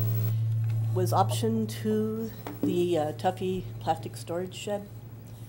I quite often see those throughout the city of Burbank and Glendale, and I figure if it's good enough for those cities, it's good enough for Sierra Madre. I think the historical part of the Hart Park House is the roof line, so that would create a problem. That's the only part of the historical part of the house. If my memory serves me right, from the first renovation that was done a few years ago for the update of the park house. Why then the designs weren't written into that renovation, I'm not real clear, because that was an expensive renovation. So I'd hate to see any breaking out of new doorways through that kitchen, um, or through that new staff room, which I didn't realize we had a couple staff there. Um, it's nice of the seniors to allocate some money. I know that's something that they raise on their own. I feel like this is something that the city is responsible for.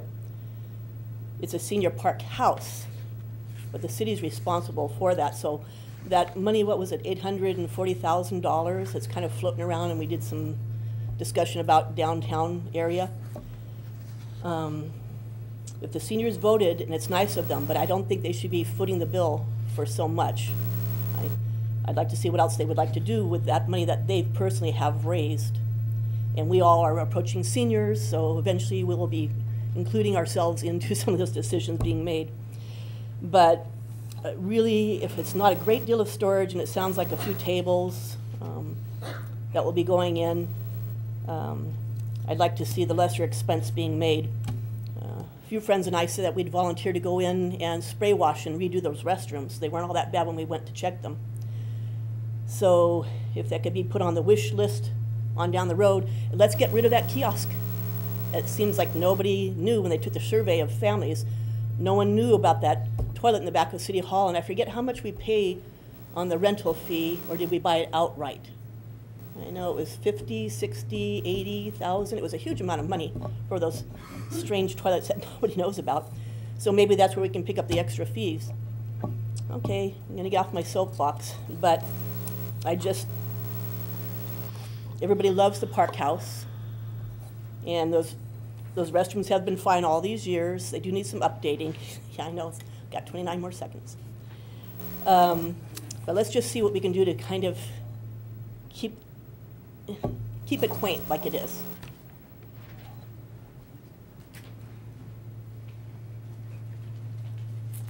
Um, Pat Alcorn. Um, The, com- both commissions have reviewed this many times. It's come to our commissions maybe three or four times. We felt that uh, option number four was truly the best option that would give the uh, park house enough storage to be used for other groups as well as the seniors. Um, And we're, we're sorry that we wouldn't be able to get renovated restrooms at the same time. However, we do strongly recommend that the uh, council see fit to put on their budget uh, capital expenditures to renovate those bathrooms as soon as possible. I know budget-wise, it's tough, but as soon as you can, we'd certainly appreciate it. Thank you.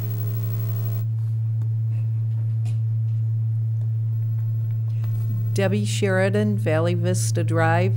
And I just have one question. Weren't the restrooms recently renovated? And if so, um, why would we need them to do it again? But it seems to me it was in the past several years.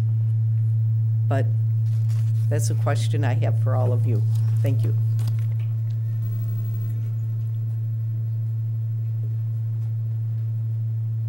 Good evening, City Council and Mayor Walsh. I'm representing the Senior Commission. My name is Jackie Pergola on Cannon Avenue. The Hart Park House is a municipal building which is used by both public and private organizations for meetings and event functions. The Senior Commission supports um, option number four because we will provide adequate storage for the property of Sierra Madre's organizations which utilize the Hart Park House on regular basis. It will provide for storage of the current tables and chairs when a function in the main space of the Hart Park House does not require these tables and chairs. And there are also many podiums and other equipment that all the different uh, clubs and um, Rotary that uh, do use the Hart Park House. Its location in relation to the Hart Park House's exterior is an unobtrusive spot in the northwest corner, therefore not in interrupting the visual appeal of the Hart Park House itself.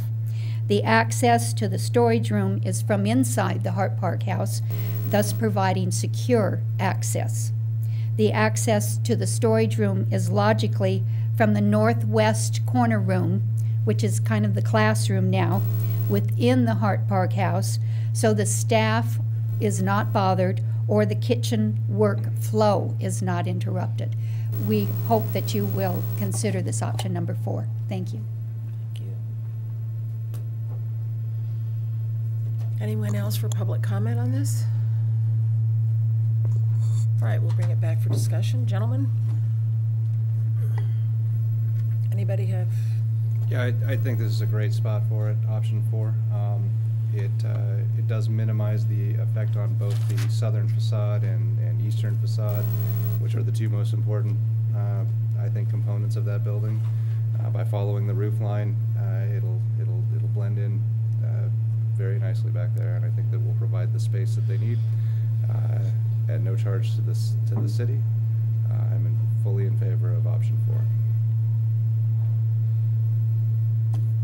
Likewise, uh, I think option four is a, is a really good plan. And uh, I would agree that, one, that the bathrooms should be put on our short-term. I agree. um, Short-term list of projects to do. Uh, uh, To uh, Ms. Sheridan's question. I don't, when was the last time those bathrooms were renovated? Those Um, Years and years I was gonna say ago. renovated is, is, um, the way that the staff report used renovated is a full plumbing and fixtures. I do believe it was painted shortly after I got here, around oh seven, oh eight, maybe. It was just a paint, Yeah. interior painting. It wasn't a renovation in the sense of plumbing and the fixtures and Yeah. the tile and everything else. Yeah, I, I think they're due, but, um, so I think option number four is great. And thank you again to the Senior, uh, Community Commission for, uh, for the funds. You know, I, I think that, you know, this wouldn't be getting done, I wouldn't think, if, uh, if we were trying to do this out of our general fund. So thank you very much. Yes. Madam Mayor, um, Yes. I'm, I'm in favor of, of number four, um, now that we've established that the, uh, city won't be putting in any money on this project, and that the, uh, senior commission basically said that, you know, knock on wood, but if, uh, there's some overruns, which I hope there are not, that, uh, that they would, uh, consider picking up that slack, I, I would support number four with no city funds. I just, I also support number four, and I do want to just thank both commissions for taking this back. I know that was a little contentious the last time when the council didn't approve the proposal that was in front of us, but I thank you for that because I think what you've come up with is a better solution. And I think it's really great and uh, it's going to work out really well. Uh, With regard to the restrooms, uh, Is it appropriate to ask uh, staff to really just take a look again? I suggested before that it, it seemed to me that it'd be appropriate to use um, uh, fees that were development fees, the money that goes into that fund, because right across the street, an assisted living facility with 96 new senior residents that have, most of them ADA-type um, needs, and it just seems to me that that money could be used to renovate those restrooms. And that's, that's a way to fund it. We have the money. And I really find it hard to believe that we would need to rely on a consultant to research that and come to that conclusion. So I would just ask that we try to take a look at that and see if uh, we're exposing ourselves to any great risk by making a, a reasoned decision on that. We can definitely look at it. Um, um, I would add the caveat, though, that those fees can't be used for maintenance. This would be considered a maintenance project, because we're, it's already there. It's- we- We're not adding something new on top of, but, um, and, and we wouldn't hire a consultant just to do this project. It would be all the funds at the same time.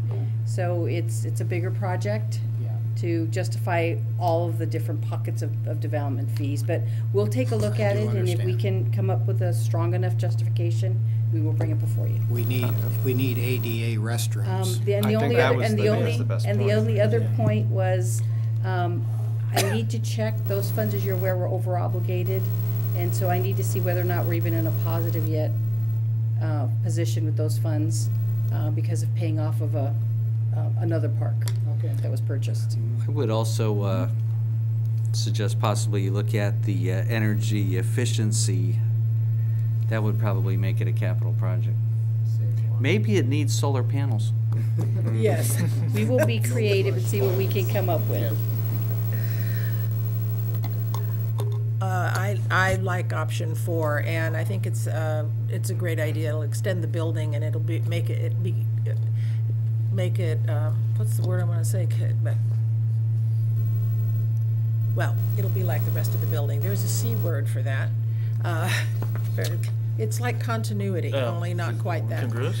Consistency, I think, Consistency, yes. We won't have an extra bin sitting out there, and we may be able to get rid of one uh, if the, if the tennis instructor has access. So um, we may eliminate a little bit of ugliness out there in the process. Um, And, you know, we do need to renovate those restrooms. We've had many conversations over years when I was on the senior commission and here about the problems with those restrooms. And um, so I think we really do need to look at renovating them. And it's going to be, I mean, it's a big task because I know when we first talked about this years ago, um, you know, it, they just have to be torn apart, really. They just cannot paint them and do simple things anymore to them. They're just too old. And uh, they've just taken too much damage and insult, insult upon insult. Um, So I think we do need to think about it, and I'd like to put it on some kind of a short list and get it into the budget at some point when we start looking at budgets. Um, So I hope everybody else kind of feels the same about getting those cleaned up, and I agree completely, we need ADA, uh, because more and more of our own population, as well as residents in our two house, uh, senior housing facilities are going to need that type of access when they're visiting. All right, I, uh, I will We move that a- we authorize the preparation of plans and specifications for the construction of the storage room addition to the northwest corner of the Hart Park. thank you. Councilmember Moran? Councilmember Koerber? Maybe because of the significance of the event here, perhaps maybe if you would agree, we could let the mayor make the motion. You know what? She's been working on this for decades. I will My that life spent with toilets. Well, there's the no, po- glamour there are of no this potties I'm involved, telling we're you. just talking storage, miss. It's nothing like it. Oh, my gosh. All right. It's very uh, nice thought, Councilmember Koerber. I'm going to move that um, we authorize the preparation of plans and specifications for the construction of the storage space on the northwest corner of the Hart Park House. I'll second that. Well, wait a minute, wait a minute. Oh, really? Shouldn't the next oldest person? Oh, okay. I'll All withdraw righty. my second. I- Okay. I second the motion. You can vote first, Councilmember. I tell you, the glamour. Did you want to do a roll call vote or something? Jeez. All those in favor? Aye. Aye. And it carries. Yay. There we Nice, well done. Madam Mayor? Yes, sir. If, if we might take a quick break, because I don't want to cut into the middle of the library's presentation. All right, we could do that now, and we will get back to the library in five minutes. Five minutes. Thank you. All righty.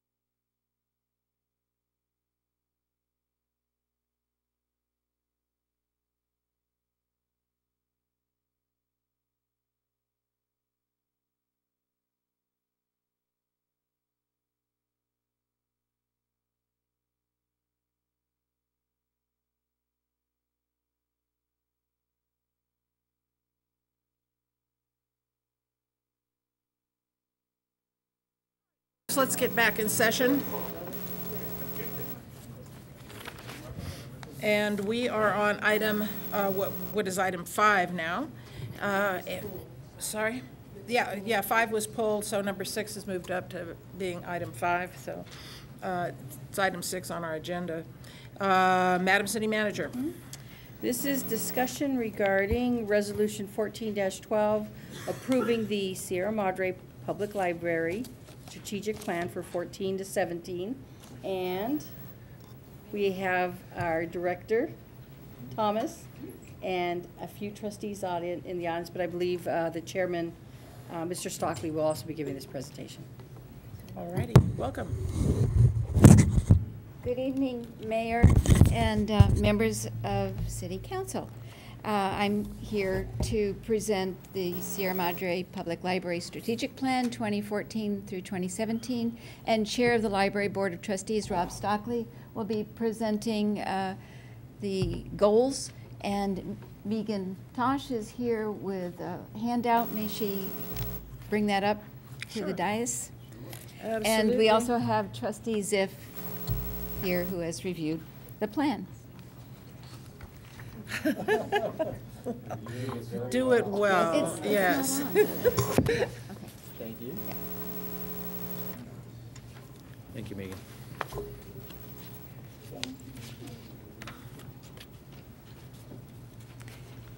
So we have a, a brief presentation, uh, and I'd like to draw your attention to the graphic. Uh, This was uh, designed by uh, Susan Clifton's father. Uh, And it's a, a one we found in our graphic logos, and it's a popular, people already like it. All right. Uh, Our library is a vibrant uh, community treasure. Uh, we offer about 250 free programs a year. Uh, last fiscal year, over 5,000 people, men, women, children, teens, uh, attended our programs. We circulate over 87,000 materials, um, over 10,000 sign-ups on our public computers. Uh, we average over 300 people uh, a day coming in and out of the library. We are a full-service library, open six days a week, three nights, and about 47 hours a week.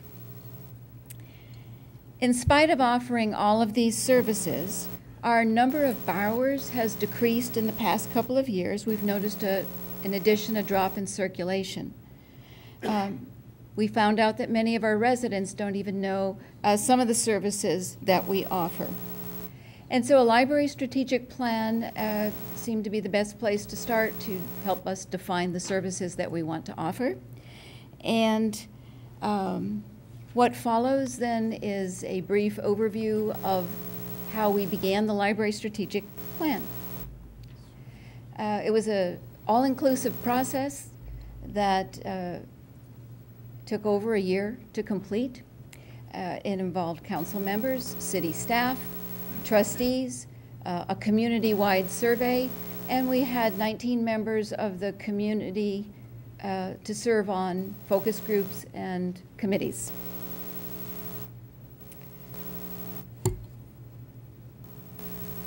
In the meetings that we conducted with the community members, our, our library statistics were reviewed, and uh, we reviewed benchmarks with peer libraries within the state and local libraries as well. We have identified um, five goals and objectives to meet those goals. We based those goals um, on some of the things that came up from the meeting. These, uh, here's a list. You can see some of the things that uh, came to the top of the list that our community members wanted. Um, they actually want us to be open in the morning. They want more ebooks. I, I heard at a recent city council, I think it was Councilman Moran said, can we pay our fines and fees online or, or with a debit card machine? Yeah, we want that too.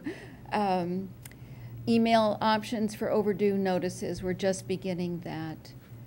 And you'll notice that there was some resistance to rental fees for DVDs.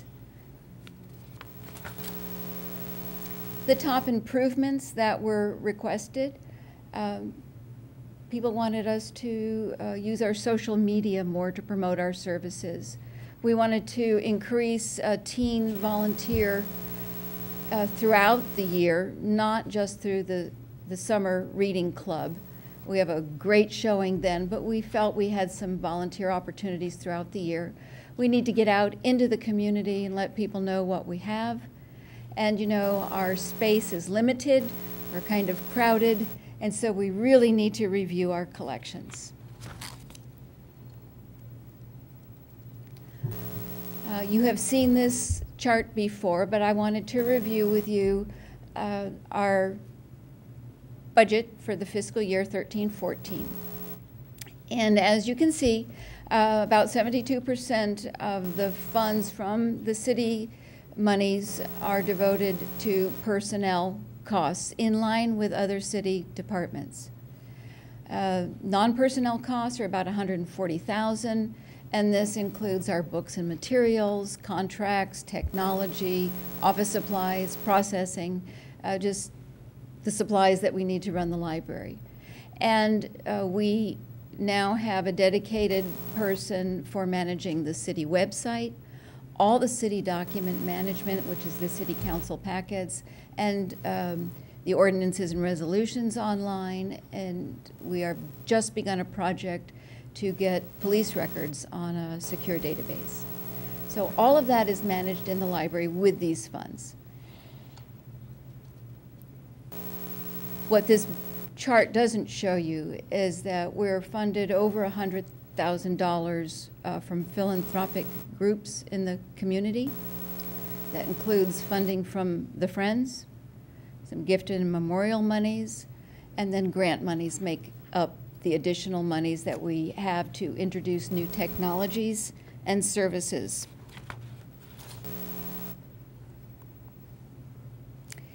Here were some of the highlights from the strategic plan report. You have the 32-page report attached to your agenda packet. Um, we needed to update the 2008 strategic plan.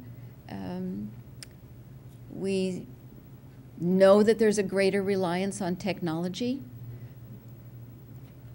We don't need as many staff on the reference desk, but we need more staff to help with technology. Uh, patrons and our communities, are, their expectations have increased. People want morning hours, comfortable furniture, quiet study space. Um, our program attendance is very high considering we don't have a community room.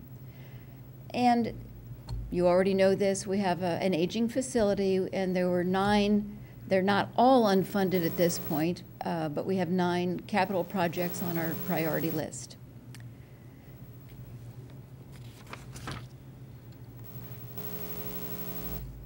We reviewed um, the annual library statistics. We compared uh, the Sierra Madre Public Library to peer group libraries in the state of California, and a note of explanation there. Uh, the service area, peer group libraries in the state of California uh, are based on uh, service area population. So our service population is 11,000, but the cutoff for peer group libraries at the state level is between 10,000 and 25,000, and we're at the very low end of this service population. But we, our peer group libraries are mostly in the Bay Area, Sausalito, um, Larkspur, um, San Anselmo, and Mill Valley, but San Marino was in this group as well. Then we compared ourselves at the trustees' request to local libraries, and that includes San Marino, South Pass, Monrovia, Altadena, Arcadia, and Alhambra. In addition, as it mentioned, we uh, took the comments from our community survey, with, got 411 responses. This chart designates a sample of the statistical data that is in the full report. And it shows how Sierra Madre stacks up to our peer libraries. Uh, remember, that's the group in Northern California mostly. Uh, our local group, San Marino, Altadena, Monrovia, and what the state average is. Uh, The consultant worked with me um, to say, here's what we're doing well. The heart indicates things that we're doing well. We're not going to stop doing them, but this is something that we're not going to particularly focus on. The orange arrows pointing down indicate areas that we need for improvement. Um, uh, Let's see. Co- The costs, the costs uh, are below average for both groups. Uh, Basically, we're a bargain for our residents. The circulation of materials is lower than both peer groups, and we know this, our circulation has dropped. But we are well above the state average. We know we have shelf sitters, we know we have crowded stacks, and we would really like to get our turnover rate um, higher. Our library visits um, are double the state average, but well below our peer group. And it's noted that while we offer quality programs to the community, the lack of the community room actually affects number of visits to the library because very often people come to the library just for the free programs.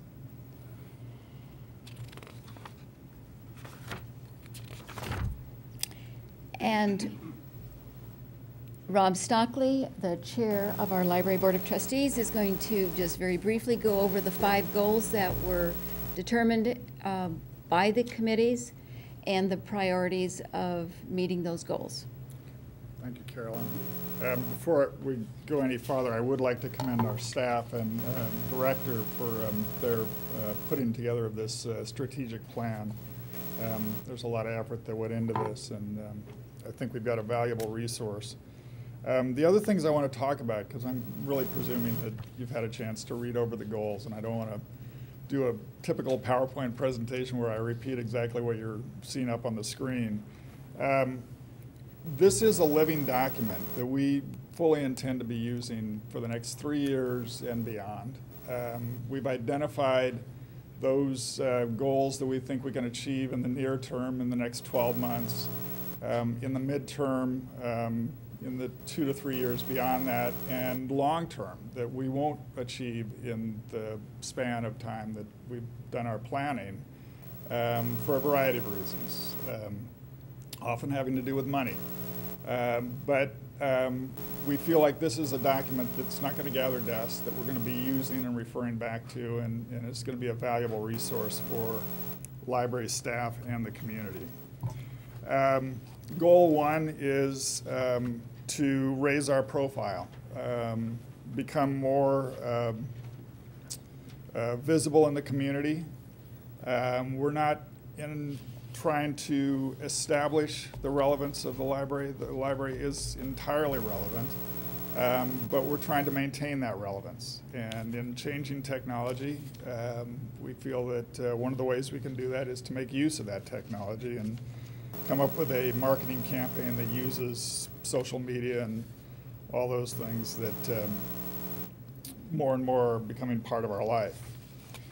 Um, see if I can do some technology. Uh, goal two is to um, address those funding issues. Um, three of the most recent um, major projects at the library, the um, remodeling of the Rotary Children's Room, the storyboard project, and the landscape project at the front of the library, all were done with um, philanthropic um, donations, either from the Friends, uh, Sierra Madre Community Foundation, the Rotary Club. Um, so we've relied very heavily on, on those outside sources to improve the library.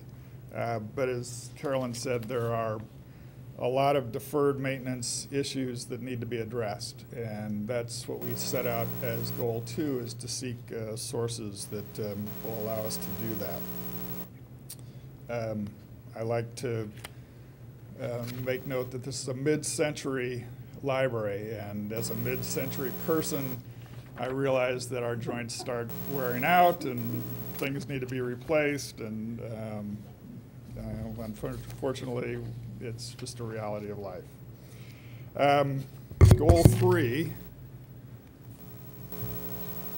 is to expand our use of technology. Um, and here we're talking about developing a plan for uh, posting city, city ordinances and resolutions. And I'd like to, again, go back to this idea that we make use of outside funding. A lot of what we do in this city, as far as the website and the technology that we do have at the library, is the result of a federal grant that we received a number of years ago and um, brought us um, all the way through the 20th century and right on the brink of the 21st century, but we've still got a ways to go. So um, we've identified these elements of goal three as far as making use of um, technology and um, adapting to what people need from the library as far as information and, and resources. Um, goal five is uh, provide a facility that's comfortable, welcoming, safe, um, sort of without putting it up there. Uh, you know, we've got ADA issues that we know need to be addressed. Uh, we may have some seismic issues that may be of a concern, and we've got the perpetual concerns about heating and air conditioning and all those things that uh, go with this, uh, this structure. We really do feel from this process that we've got a facility that we can use, that we can adapt the space and, as uh, was mentioned, um, sort of cull out the collection, reduce the number of books that are on the shelves to those that are being circulated. That'll improve some of those ratios that Carolyn talked about. And it also will open up some space that we might be able to better utilize. So uh, we think that that's uh, a good goal for us. And then finally, um, uh, update our collection policy and um, address those things that uh, um, will keep um, keep the collection um, um, vibrant and, and vital for the community and, and an ongoing resource for, uh, for our patrons. You know, the good news, every time we talk or ask the question about the library, uh, people express their, um, what a value it is to the community. And uh, that goes back over a lot of years. So uh, we um, cherish that um, expectation and um, feeling in the community. And uh, we think we have a document here that's going to allow us to maintain that image.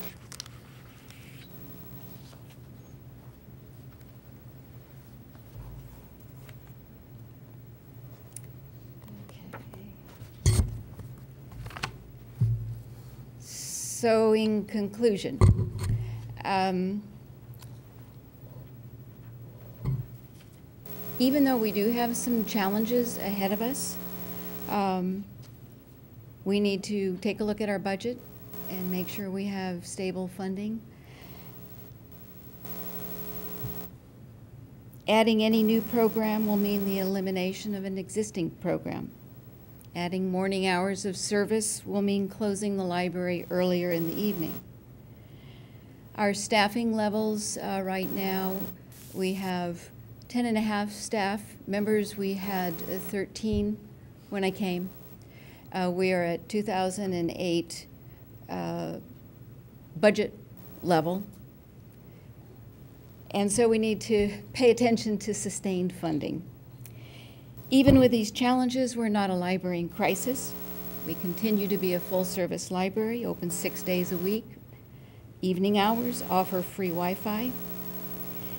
Um, one of the things that we did with the strategic plan is identify things that needed dedicated funding, things that we felt we could do within the first six months, and they're our first priorities, and the ones that we could do if we had stable funding.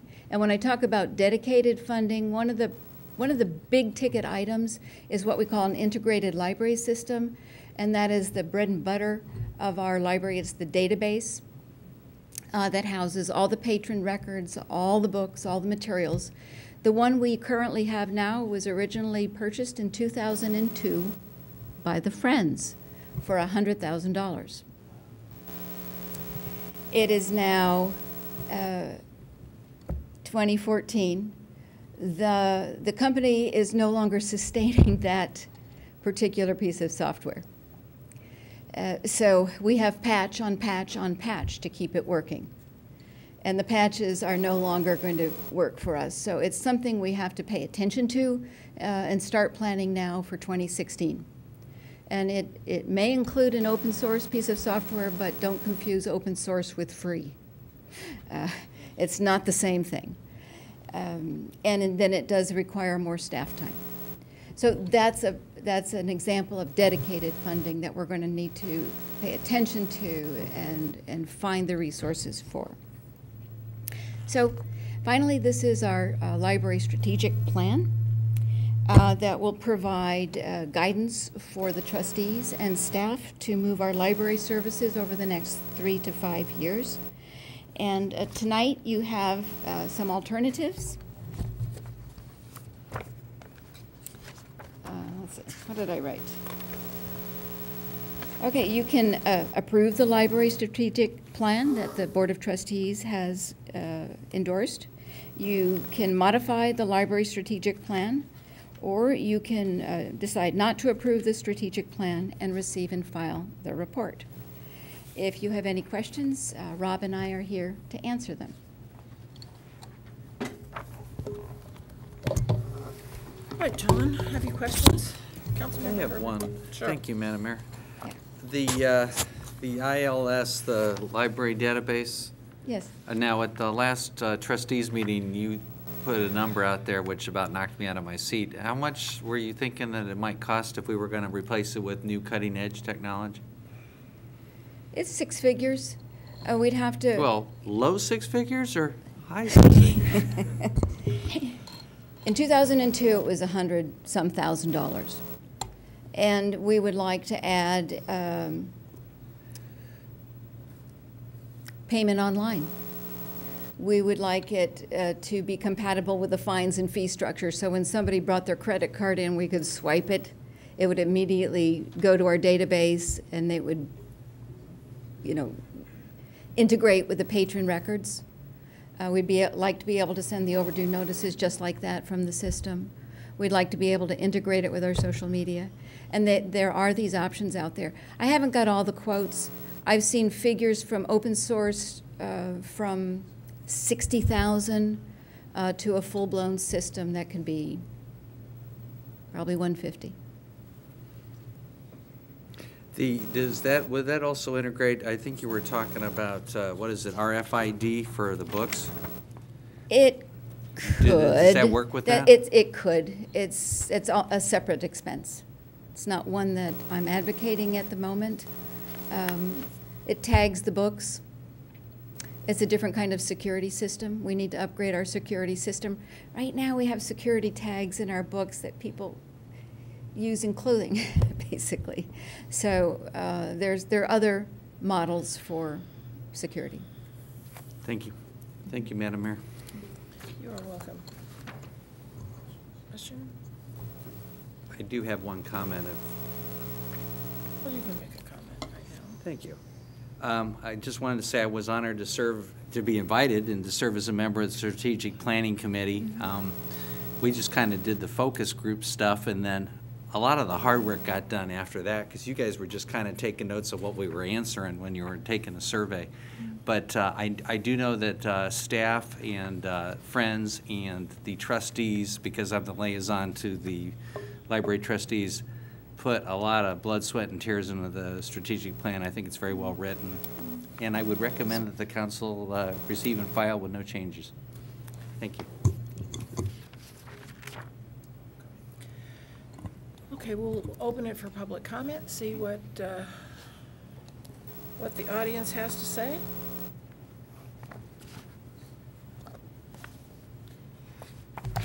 Hi, Barbara Lee, nice update. Uh, I'd like to see that type of technology included, that we could pay our water bills online here at the city. Although it scares me to use a credit card and have that information going anywhere. Um, If it's possible, if, if the Library Board of Trustees, it's a wonderful little library, if they would find a little bit of revenue. When I did walk through the children's room, which they do have a wonderful children's program and storytelling, I've been there a few times in the past, but I noticed that the area that has the um, multicultural and ethnic languages, along with, you know, different disabilities, there were, mm, it was very slim on the choice of books. Uh, less than, less than I can hold up my fingers for five digits. So if it's possible, or if they would receive donations, I'd be happy to bring in donations for new books in that area. I think that would be a wonderful um, springboard for the, the children's part of the library.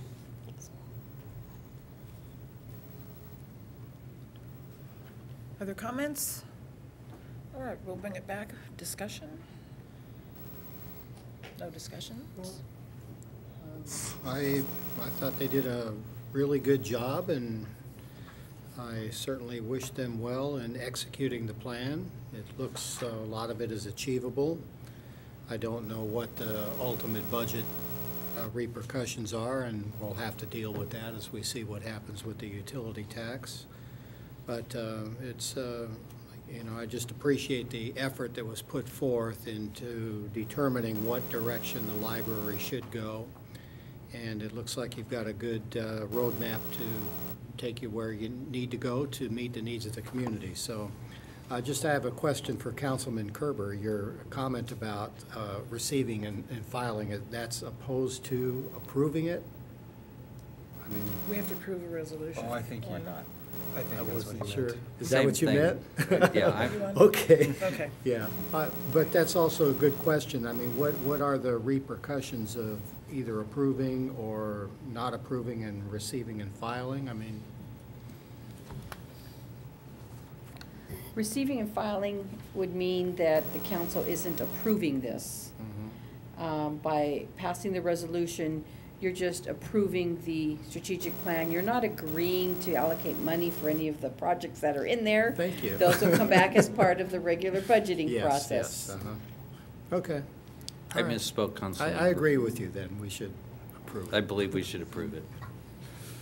I, I, I'd like to echo what Councilmember Capoccia said. This is a phenomenally well-written document, very thoughtful, um, and, and and fairly budget-minded, um, with, with a lot of the goals. And, and that's, that's really uh, a delight to see with the city with our budget issues, as you all know. Uh, As a, as a person who ran through those, uh, walked through those uh, aisles many a time as a kid, probably with fireworks in my pockets. Um, Talking, I- I can- too. Yeah, I can, o- yeah, talking loudly. I can only say that, uh, you know, this is a, a true uh, treasure uh, of our city. You know, we throw that word around a lot, um, but it is, and, and it's one of those places where I think uh, families and, and uh, especially kids um, really, uh, really grow to love uh, that part of the community. And, and, and I grew up with a, uh, a love of reading and, and, and literature, uh, probably because of all the time I spent there. So I, I really, I think this is one of those institutions that we've got to continue uh, to, to support uh, as a city. And, and, and and luckily, we've got a lot of um, outside uh, philanthrop- philanthropic groups that, that do that as well. Um, But it's also one that, I- and I was very happy to see so much of the emphasis on, on what we're going to be seeing in the next five to 10 years. And and getting a lot of these old books that have, you know, been there for years and years and years off the shelves and uh, making room for some of the, I hate, I hate the newer, I hate thinking about the newer technology, and I hate thinking about a, a world that, that where paper is, is, is not read. Um, um, but, but it's happening more and more. And as I, as I look into the electronic, you know, glow of my tablet, uh, or my iPad, or whatever, eh, it's, it is becoming more and more, um, uh, more and more of an electronic world, which does give us that space for more meeting rooms, more, or meeting areas, study areas, things like that, and I'm glad to see the foresight in that. So I, I will concur that we can, I, I will move for approval of this as well. And, and just building off uh, Councilmember Moran's comments, I thought this was phenomenal. And I think I was just stepping off as lia- liaison for the, um, for the library board when this first started. And, um, and I remember thinking just how important this was.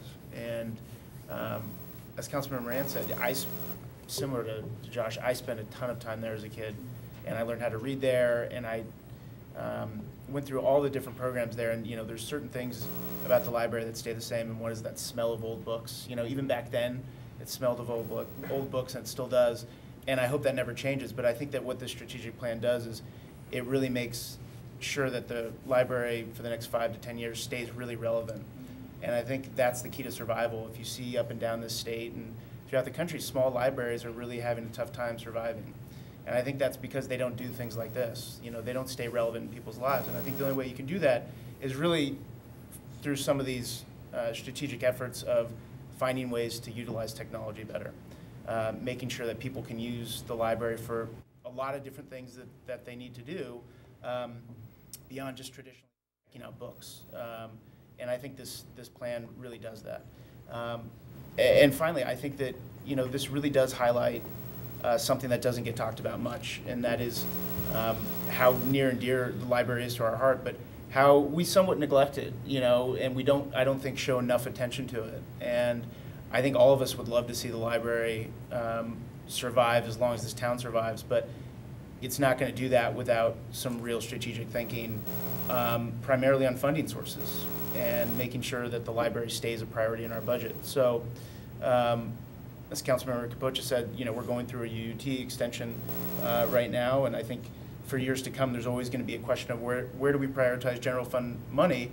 Um, and as long as we still have good stewards on the staff working in the library and, and on the board of trustees, I think the library is always going to be in good hands. So um, this is a, a really good step, and I think it's a huge step for the library, and, and I'm glad that um, that I could stay out of the way and let you guys do it, and uh, and it looks great. So I'm definitely in favor uh, of approving it. So. Well, I would certainly approve it, but while we're waxing nostalgic here, um, some time ago, I, uh, I had asked my, I was telling my daughter I had to go say something about the library. I don't even remember what the event was. It had something to do with uh, Josh Moran, however, I remember his standing behind me at the time. And um, my daughter rushed over to the house from work, went out to the garage, threw open a trunk, and pulled out a Snoopy puzzle that, see? I remember His, yes. Uh, and she had always wanted me to, she was always saving things for her child's, and she would put things in a trunk. I let her have a big trunk to put things in. And she is, what, 46 or something now, 44? Don't And, uh, say. Melissa, I know the harpy will come after me. Um, But uh, she still has her Snoopy puzzle from the library. So there are things that they do besides just reading that are important. And she saved her Snoopy puzzle that she put together as she read a book through the summer. She got another piece to put together, and in the end, it was the red Snoopy puzzle.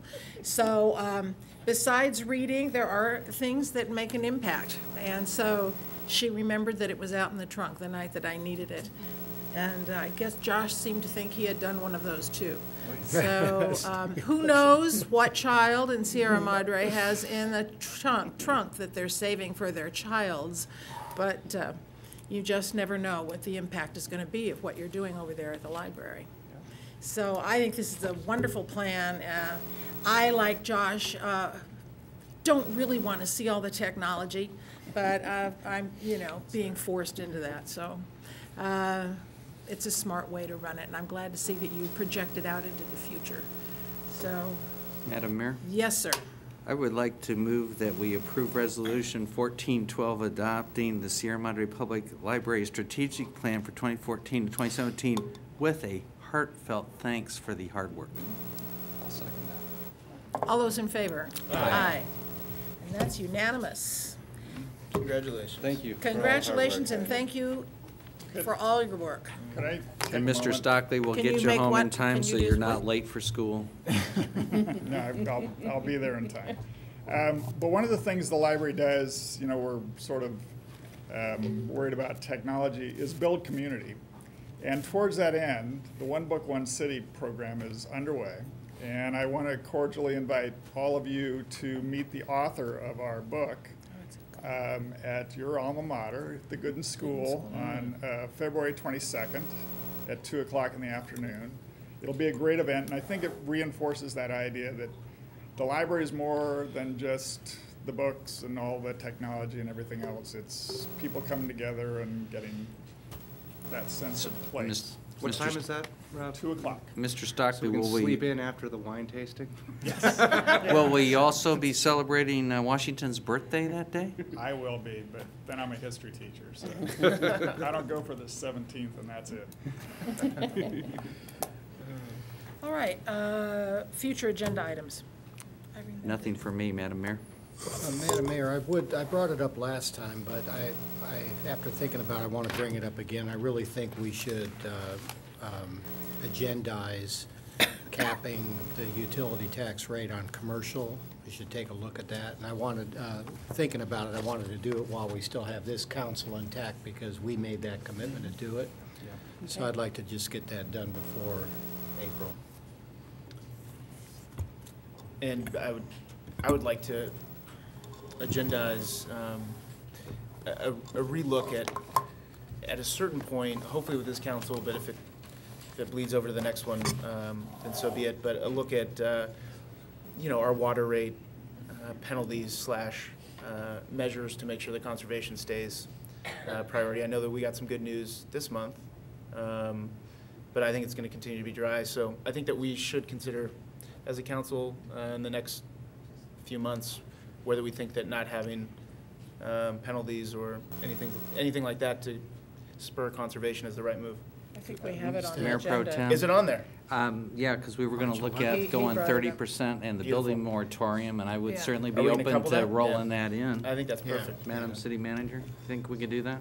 We can roll it in. Okay, perfect. Okay, while we're on that topic, uh, for the next water report, Madam City Manager, can you also give us a report on the city meters and how, how well you've done? Can you do that at the next, uh, Get a little bit more Are- description. Just what Yeah. percent are you Oh, the saving? city- as- the as a cities city are user? municipal water conservation for, our- conservation. I yeah, understand. and just make that part of uh, Okay. Director Inman's uh, conservation report? I understand. Okay, thank you. All right. Have we a motion? I'll adjourn? move we adjourn. All in favor? Aye. Aye. Wow, this is historic. Night.